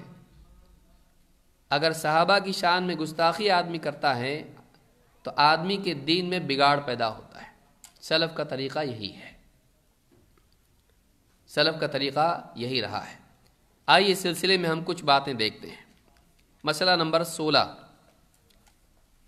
لئی سممن شیخ محمد ابن عمر بازم الحفظ اللہ کہتے ہیں لئی سممن حجی سلفی الطعن فی الصحابتی او احد منہم۔ تمام صحابہ یا کسی ایک صحابی پر بھی تعان کرنا سلف کا منہج نہیں۔ سارے صحابہ کو علی الاطلاق رد کر دینا، ان پر تعان کرنا یا پھر کسی ایک صحابی پر بھی تعان کرنا۔ تعان کرنا ان کی شخصیت کو مجروح کرنے کی، ان کی، ان کے اعتماد کو ختم کرنے کی بات کرنا۔ یہ سلف کا طریقہ نہیں ہے۔ اللہ رب العالمین قرآن کریم میں فرماتا ہے اس کی دلیل ہم دیکھیں گے کہ صحابہ کا مقام دین میں کیا ہے اور سلف کس طرح سے صحابہ کی تعظیم کرتے تھے۔ اللہ تعالیٰ فرماتا ہے کن تم خیر امتن اخرجت للناس تأمرون بالمعروف وتنہون عن المنکر وتؤمنون باللہ۔ سورہ آل عمران میں اللہ نے بات کہی ہے۔ تم بہترین امت ہو جنہیں لوگوں کے لیے نکالا گیا ہے۔ تم بھلائی کا حکم دیتے ہو، برائیوں سے روکتے ہو۔ اور اللہ پر ایمان رکھتے ہو اس آیت کی تفسیر میں عبداللہ ابن عباس رضی اللہ عنہ کیا کہتے ہیں۔ یہ کون ہے عبداللہ ابن عباس جن کے بارے میں اللہ کے نبی صلی اللہ علیہ وسلم نے دعا کی تھی؟ کیا؟ اللہم فقہ فی الدین وعلمہ التأویل۔ اے اللہ، اس کو دین کی گہری سمجھ دیں اور اس کو قرآن کی تفسیر کا علم دیں۔ تعویل قرآن کی تفسیر کو کہتے ہیں۔ کہتے ہیں کن تم خیر امتن اخرجت للناس تم بہترین امت ہو جنہیں لوگوں کے لیے نکالا گیا ہے۔ کون ہیں یہ لوگ؟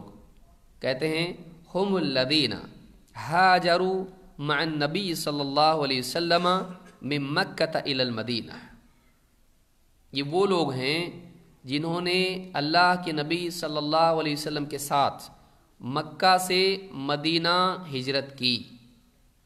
اصلاً یہ لوگ ہیں۔ پھر طبعاً دوسرے آئیں گے۔ لیکن اصل کون ہے اس کے مخاطب؟ انہیں نکالا گیا ہے۔ اخرجت للناس۔ اور یہ سارے لوگوں میں سب سے بہتر لوگ۔ آپ دیکھیے جو امت کے سارے لوگوں میں سب سے افضل کون؟ صحابہ۔ صحابہ میں بھی افضل کون ہیں؟ سارے صحابہ میں خلفۂ راشدین۔ اسی ترتیب کے ساتھ جس ترتیب سے وہ خلیفہ تھے۔ اب چاروں کے چاروں آپ دیکھیے کون ہیں؟ مہاجرے کے انصار میں سے ہیں۔ مہاجرے۔ تو معلوم کہ تفضیل جو ہے یہ مہاجرین کی انصار پر ہے۔ چاروں کے چاروں افضل ترین صحابہ یہ کون ہیں؟ مہاجر ہیں۔ ابو بکر و عمر و عثمان و علی رضی اللہ عنہم اجمعین۔ تو کہا کہ تم بہترین لوگ ہو، تمہیں لوگوں کے لیے نکالا گیا ہے۔ کون ہیں یہ لوگ؟ یہ وہ لوگ ہیں جو مکہ سے مدینہ ہجرت کر کے گئے اللہ کے نبی صلی اللہ علیہ وسلم کے ساتھ۔ اس روایت کو امام احمد، بیحقی، طبرانی، حاکم اور ابن ابی شیبہ نے اپنی مصنف میں روایت کیا اور اس کی صنعت حسن ہے۔ جامع بیان العلم میں بھی ابن عبد البر نے اس کو روایت کیا ہے۔ بقیہ ابن الولید کہتے ہیں، قال علی الاوزاعی۔ امام الاوزاعی بڑے محدثین میں سے گزرے ہیں، شام کے محدث۔ کہتے ہیں، قال علی الاوزاعی۔ امام الاوزاعی نے مجھ سے کہا، یا بقیہ یا بقیہ، لا تذکر احدا من اصحاب نبی کا اللہ بخیر۔ کا اے بقیہ اللہ کے نبی صلی اللہ علیہ وسلم میں سے کسی بھی صحابی کا تذکرہ سوائے خیر کے ساتھ اور کسی کسی اور انداز میں مت کرنا۔ نبی صلی اللہ علیہ وسلم کے کسی بھی صحابی کا تذکرہ کریں تو خیر ہی کے ساتھ کرنا، شر کے ساتھ نہیں۔ حمز اور لمز اور ان کے بارے میں بد بد زبانی اور تان نہیں۔ جس کسی صحابی کا تذکرہ کریں خیر کے ساتھ کرنا۔ یہ کون کہہ رہا ہے؟ امام الاوزاعی۔ امام الذہبی نے تذکرت الحفاظ میں یہ بات نقل کی ہے۔ اللہ کے نبی صلی اللہ علیہ وسلم، یہ مہاجرین کا مقام ہم نے دیکھا، انصار کا دیکھیے۔ اللہ کے نبی صلی اللہ علیہ وسلم فرماتے ہیں آیت الایمان حب الانصار و آیت النفاق بغض الانصار۔ ایمان کی علامت انصار سے محبت ہے۔ اور نفاق کی علامت انصار سے بغض ہے، چھپی ہوئی دشمنی ہے۔ یہ بخاری کے الفاظ ہیں اور مسلم کے الفاظ کیا ہیں؟ آیت المنافق، بغض الانصار، و آیت المؤمنی حب الانصار۔ منافق کی علامت ہے کہ وہ انصار سے بغض رکھتا ہے۔ جو آدمی انصار سے بغض رکھتا ہے، یہ اس بات کی علامت ہے کہ منافق ہے۔ جن لوگوں نے، دیکھیے، محبوب کا محبوب محبوب ہوتا ہے۔ محبوب کا محبوب محبوب ہوتا ہے۔ انسان کو جس سے محبت ہوتی ہے، وہ جس سے محبت کرتا ہے، وہ بھی اس کے نزدیک محبوب ہوتا ہے۔ اللہ کے نبی صلی اللہ علیہ وسلم انصار سے بہت محبت کرتے تھے۔ بلکہ ایک مقام پر آپ نے کہا کہ انصار، جس وادی میں جائیں گے، میں ان کے ساتھ جاؤں گا۔ تو اور بہت ساری حدیثیں ان کے بارے میں ہیں۔ تو آپ نے کیا کہا؟ یہ منافق کی علامت ہے کہ وہ انصار سے بغض رکھتا ہے۔ جن لوگوں نے اپنی جان اور مال کو اللہ کے نبی صلی اللہ علیہ وسلم کے لیے پیش کیا، جو چاہے لیجیے آپ، لا لا کے خرچ کیا، آپ کی محبت میں اپنی جانیں پیش کر دیں اللہ کے دین کی خاطر کہ تیر آ کے لگے تو نبی کو نہیں لگے، میرے سینے میں جائے تیر۔ آپ کے لیے جو لوگ ڈھال بنے، جنہوں نے اپنے بچوں کو اور اپنی یعنی بیویوں کو بیوہ بنایا، اپنے بچوں کو یتیم بنایا۔ اللہ کے نبی صلی اللہ علیہ وسلم کے ساتھ کھڑے رہے ہر مارکے میں اور کبھی کوئی کمی نہیں کی۔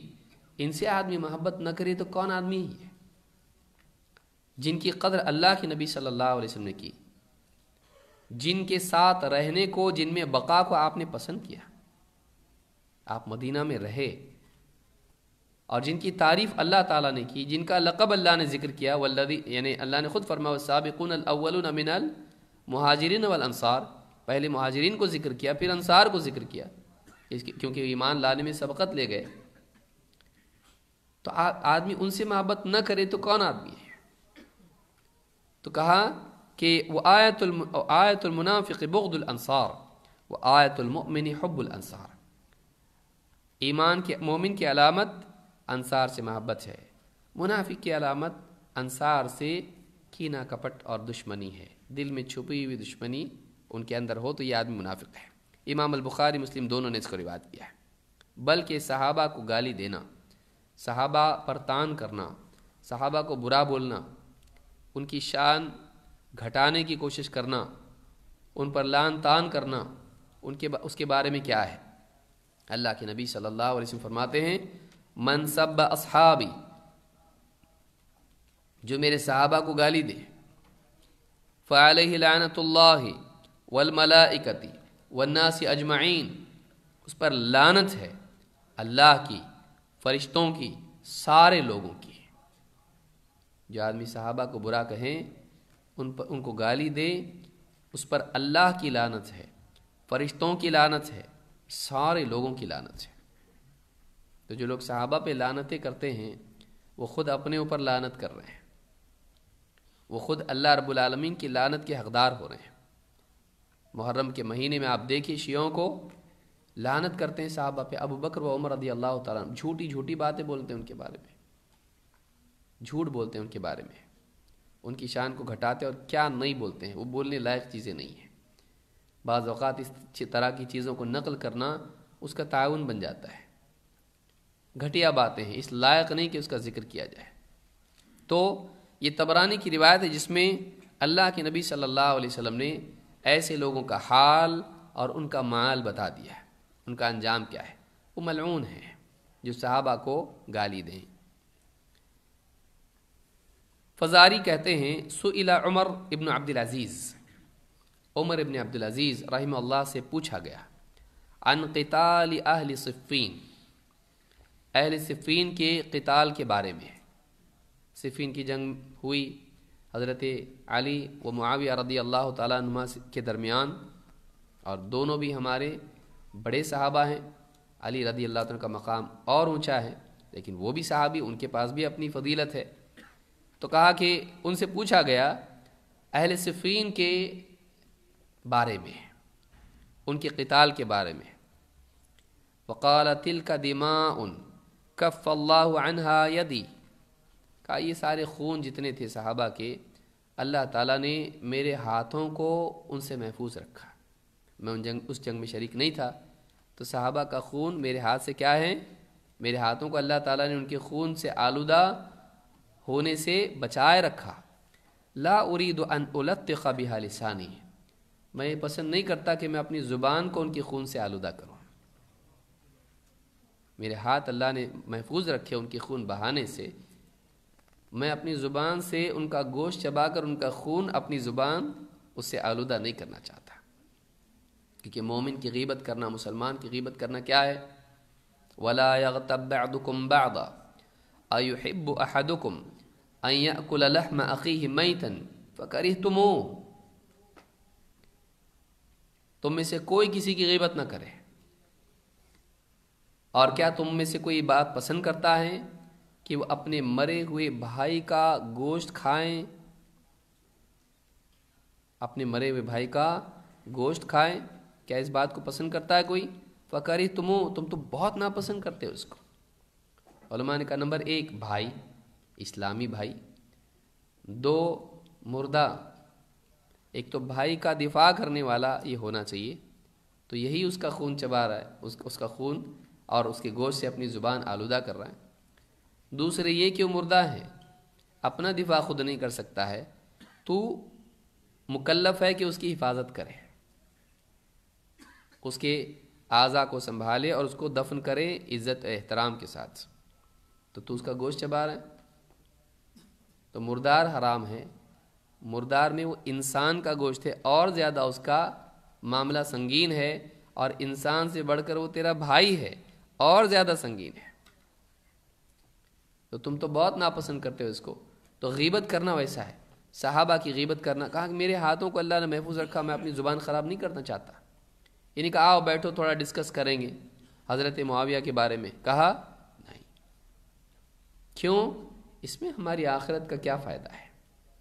اس سے ہمارے دل آلودہ ہوں گے۔ کیونکہ صحابہ میں جب اختلاف ہوا، کوئی یہاں ہے، کوئی وہاں ہے، یہ بھی اچھے، وہ بھی اچھے۔ اب ہم ان کے بارے میں گفتگو کریں گے۔ ہو سکتا ہے زبان پھسل جائے اور کوئی بات ایسی نکل جائے جو اللہ کو پسند نہ ہو۔ جو اللہ کو پسند نہ ہو۔ اور حدیث میں اللہ کے نبی صلی اللہ علیہ وسلم کیا فرماتے ہیں؟ بندہ اپنی زبان سے ایک بات ایسی نکالتا ہے، لا یلقی لہا بالن۔ اس کی ذرا پرواہ نہیں کرتا کہ کیا بول رہا ہے، ہلکا سمجھتا ہے، لیکن اس کی وجہ سے جہنم کی گہرائیوں میں پھینک دیا جاتا ہے۔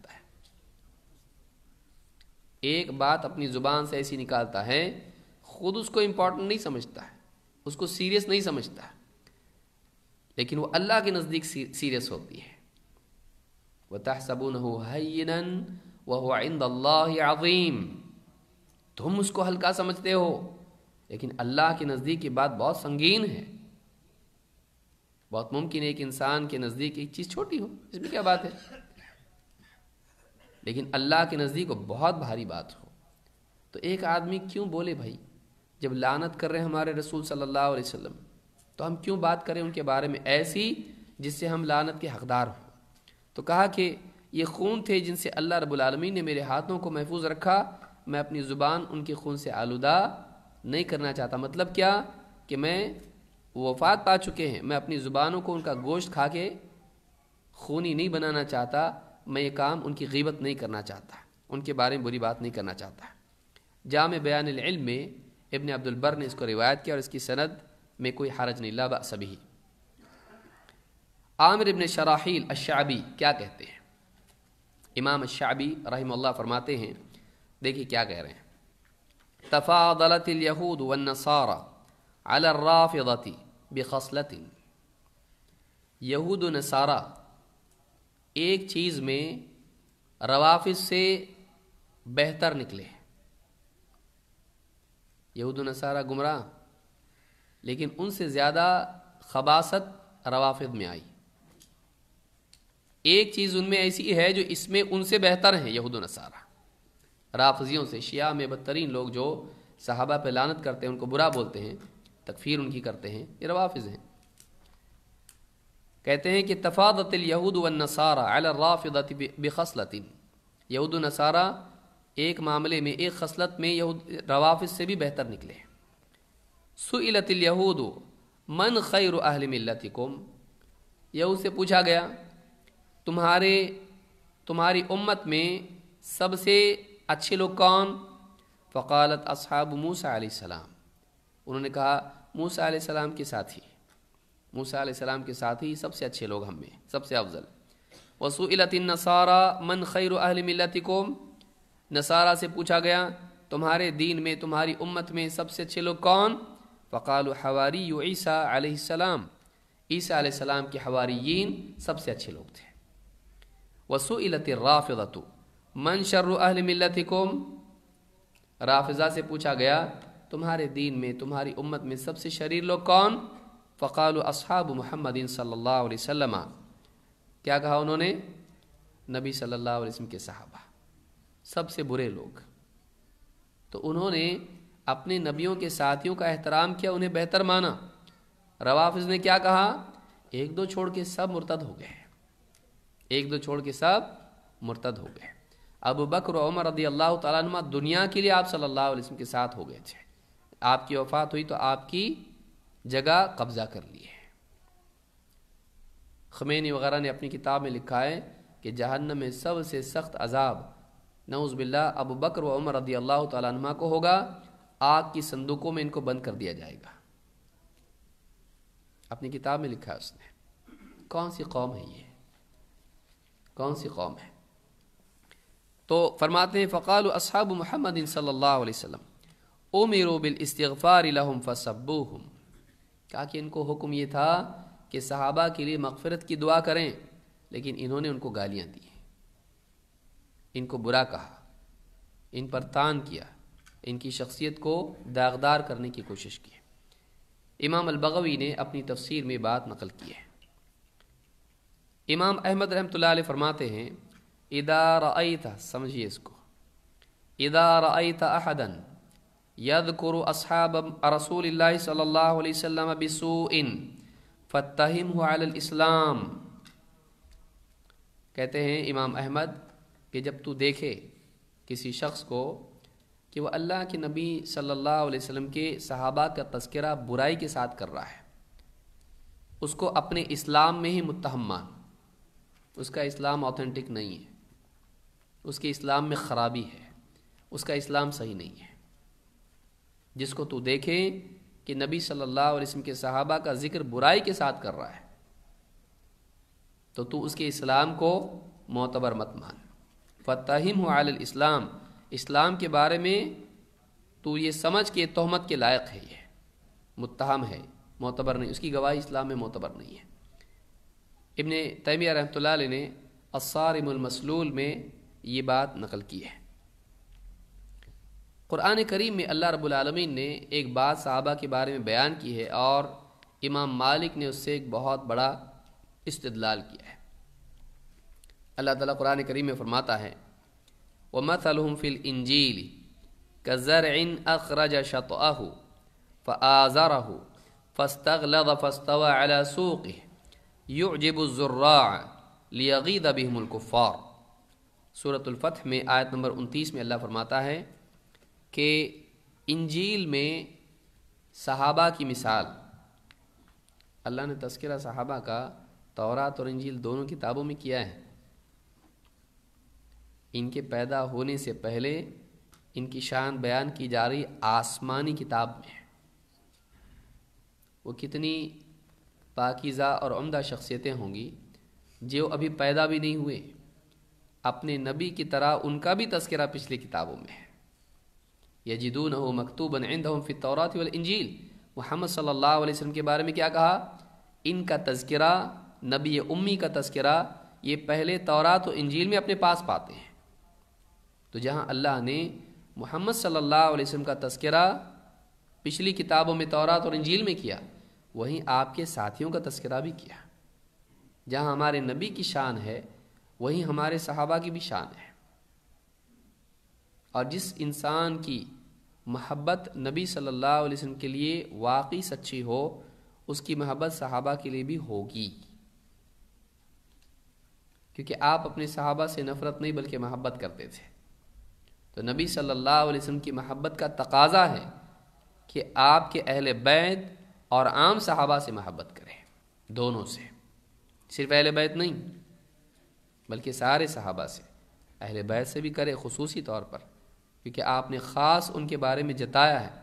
ادک رکم اللہ فی اہل بیت تھی میں اپنے اہل بیت کے بارے میں تمہیں اللہ سے ڈراتا ہوں۔ ان کا لحاظ رکھو، ان کا خیال رکھو، ان کی تعظیم کرو، ان کی ضروریات کا خیال رکھو۔ لیکن آپ نے صحابہ کی بھی تو تعظیم بتائی، صحابہ کا بھی تو احترام اور مقام بتایا۔ دونوں کا مقام ہے۔ ایک کو لے کر دوسرے کو چھوڑ سکتے نہیں۔ وہ مت فی الانجیل اور ان کی مثال صحابہ کی انجیل میں ان کا تذکرہ کیسے ہیں؟ کزر ان اخراج شت آہو فضر فاستوى على سوقه اس کی مثال اس پودے کی طرح جو زمین سے نکلتا ہے، پھر اپنے تنے پر قائم ہوتا ہے۔ سوئی اس کی نکلتی ہے، اس کے بعد تھوڑا باہر نکلتا ہے، پھر اپنی ڈالی پر یا ڈنٹل جو بھی آپ اس کو کہیں سوکھ پر قائم رہتا ہے۔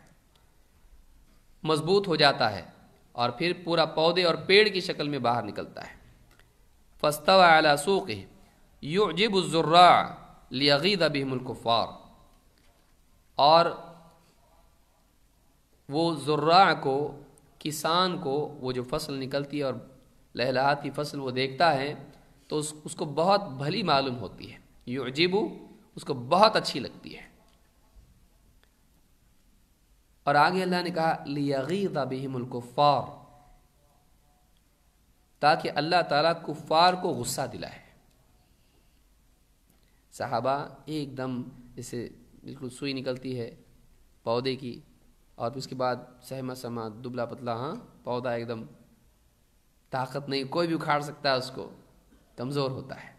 اس کے بعد پیڑ کی شکل اختیار کرتا ہے، اب مضبوط ہو جاتا ہے۔ قائم ہوتا ہے، اس کو پکڑ کے بیٹھنا نہیں پڑتا ایسا، بالکل پودا قائم ہو جاتا۔ ہے اس کے بعد پھر اور بڑے پیڑ ہو جائیں تو اور مضبوط ہو جاتا ہے۔ کمزوری سے مضبوطی کی طرف ہو جاتا ہے۔ اور جس نے وہ پودا لگایا ہے، وہ اپنی فصل کو ترقی کرتا دیکھ کر خوش ہوتا ہے۔ صحابہ کمزور تھے۔ اللہ نے کیا فرمایا؟ یعنی ود کرو اد کن تم کلیل انفل اب انتم ہے ود کرو اد کن تم مستدعفون فی الارض کہ تم زمین میں کمزور تھے، زمین میں کمزور تھے۔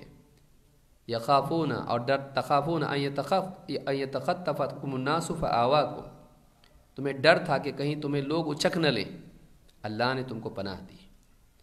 تو وہ شروع کا جو دور تھا صحابہ کا، کمزوری کا تھا۔ لیکن اللہ تعالیٰ نے قوت دی ان کو۔ اللہ تعالیٰ نے ان کو قوی بنایا۔ اور نبی صلی اللہ علیہ وسلم نے گویا کہ پودا بویا۔ آپ صلی اللہ علیہ وسلم نے ان کی تربیت کی۔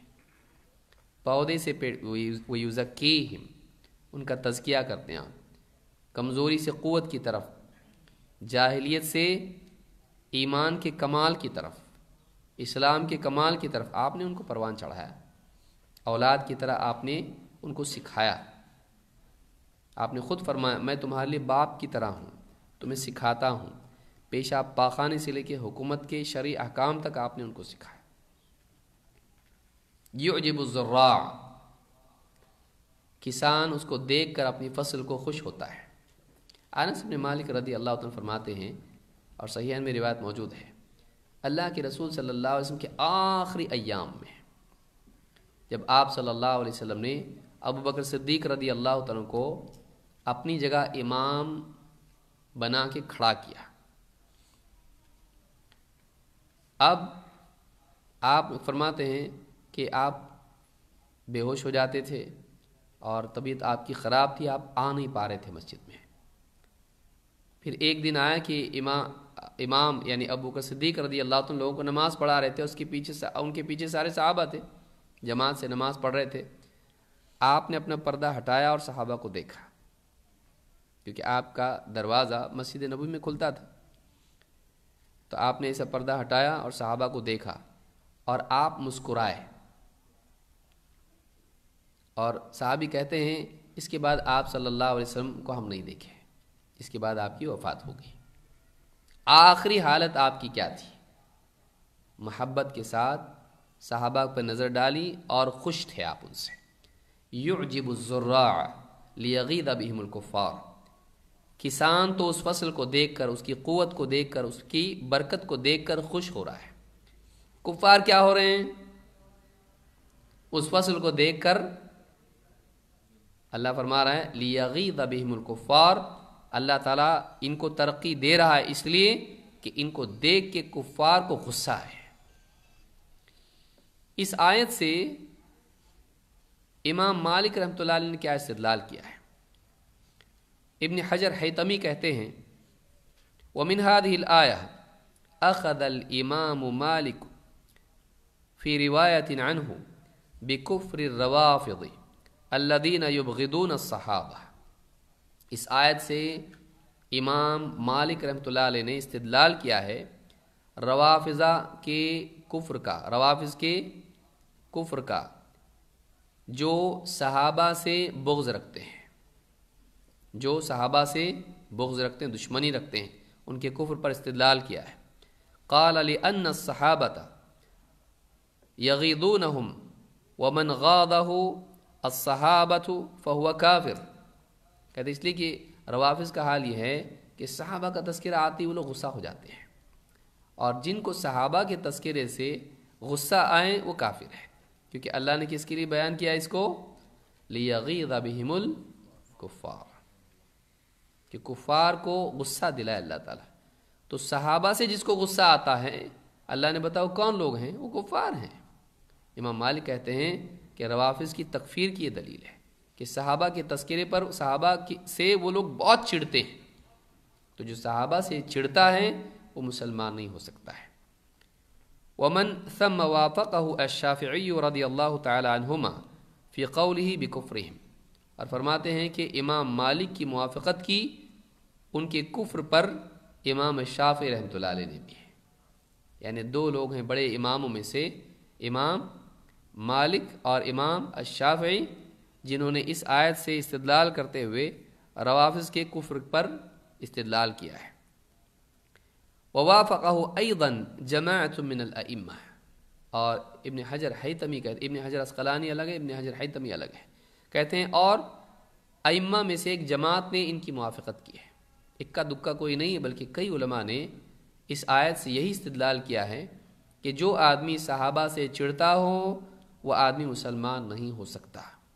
جو آدمی صحابہ سے چڑھتا ہو وہ آدمی مسلمان نہیں ہو سکتا السوائق المحرقہ علی اہل الرفض والضلال والزندقہ میں یہ روایت موجود ہے ابن کثیر رحمۃ اللہ علیہ نے بھی اس کو اپنی تفسیر میں ذکر کیا ہے اس آیت کے ضمن میں کہتے ہیں وَمِنْ هَذِهِ الْآيَةِ انتزع الامام مالک رحمہ اللہ فی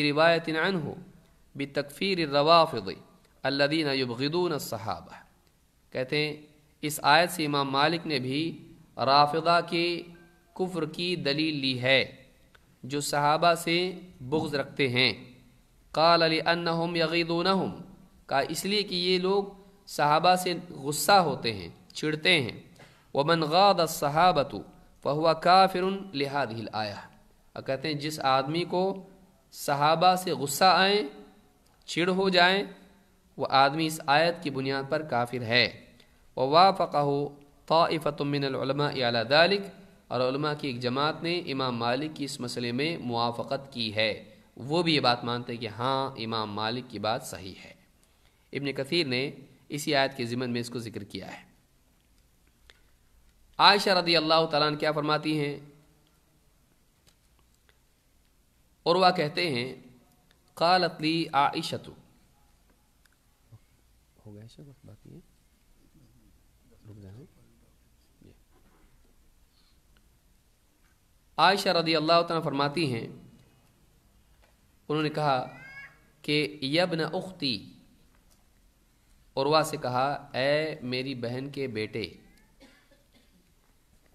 امرو ان یستغفروا لاصحاب النبی صلی اللہ علیہ وسلم فسبوہم۔ انہیں حکم تھا، لوگوں کو حکم دیا گیا تھا کہ وہ صحابہ کے لیے استغفار کریں۔ اگر کوئی لغزش ان کی ہے بھی، تو اللہ رب العالمین ان کی مغفرت فرمائیں انہیں حکم یہ دیا گیا تھا کہ وہ صحابہ کے لیے مغفرت کی دعا کریں۔ فصبوہم تو انہوں نے مغفرت کی دعا نہیں کی، بلکہ ان کو کیا کیا؟ گالی دی۔ صحابہ کو برا کہا۔ امام مسلم نے اس روایت کو نقل کیا ہے۔ قاضی ایاز کہتے ہیں، شرح مسلم میں امام نوی نے اس کو ذکر کیا ہے۔ کہتے ہیں، الظاہر انہا قالت هذا عندما سمعت اہل مصر۔ اہل مصر یقولون فی عثمان ما قالوا۔ عائشہ نے کب کہا یہ؟ یہ اس وقت کہا جب انہوں نے اہل مصر سے سنا کہ وہ حضرت عثمان کو برا کہتے تھے۔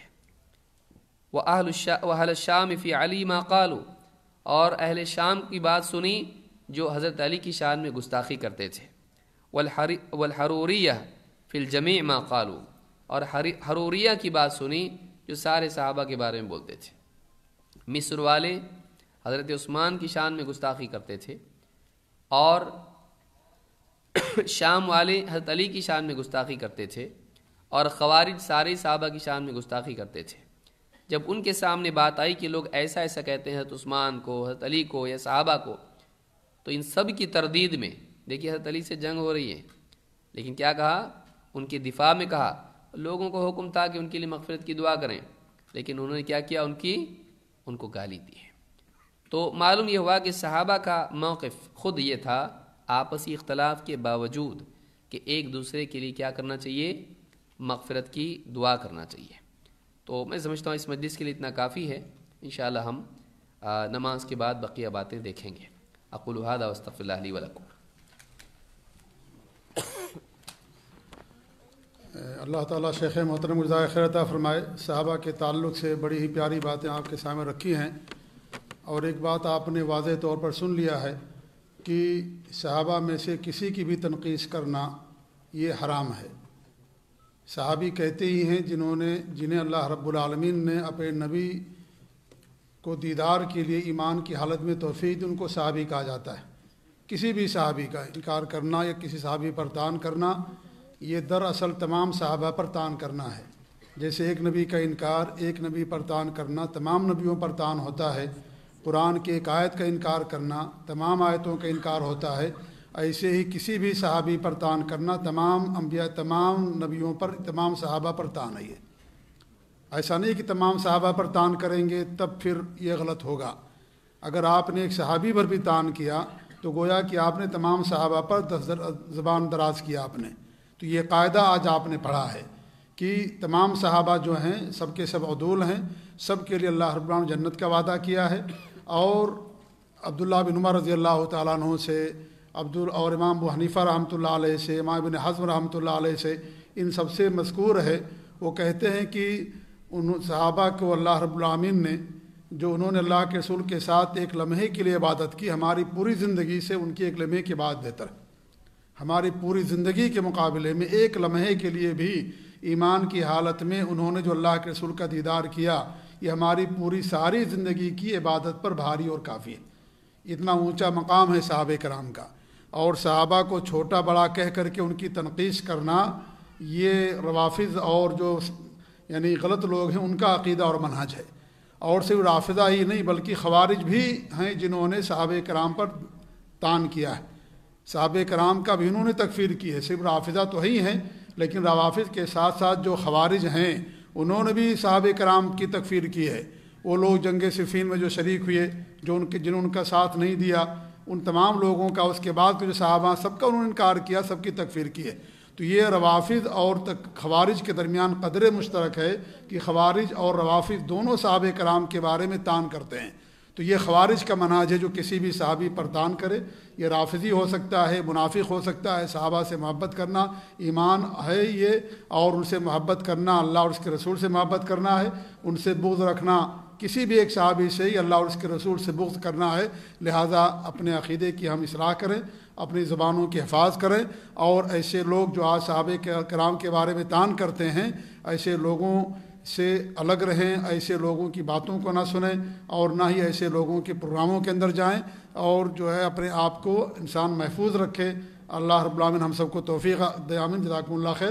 انشاءاللہ نماز کے فوری بعد پھر دوبارہ سلسلہ شروع ہوگا۔ آپ لوگوں سے گزارش ہے کہ آپ لوگ تشریف لائیں اور پھر شیخ کے در سے فائدہ اٹھائیں۔ جزاکم اللہ خیر۔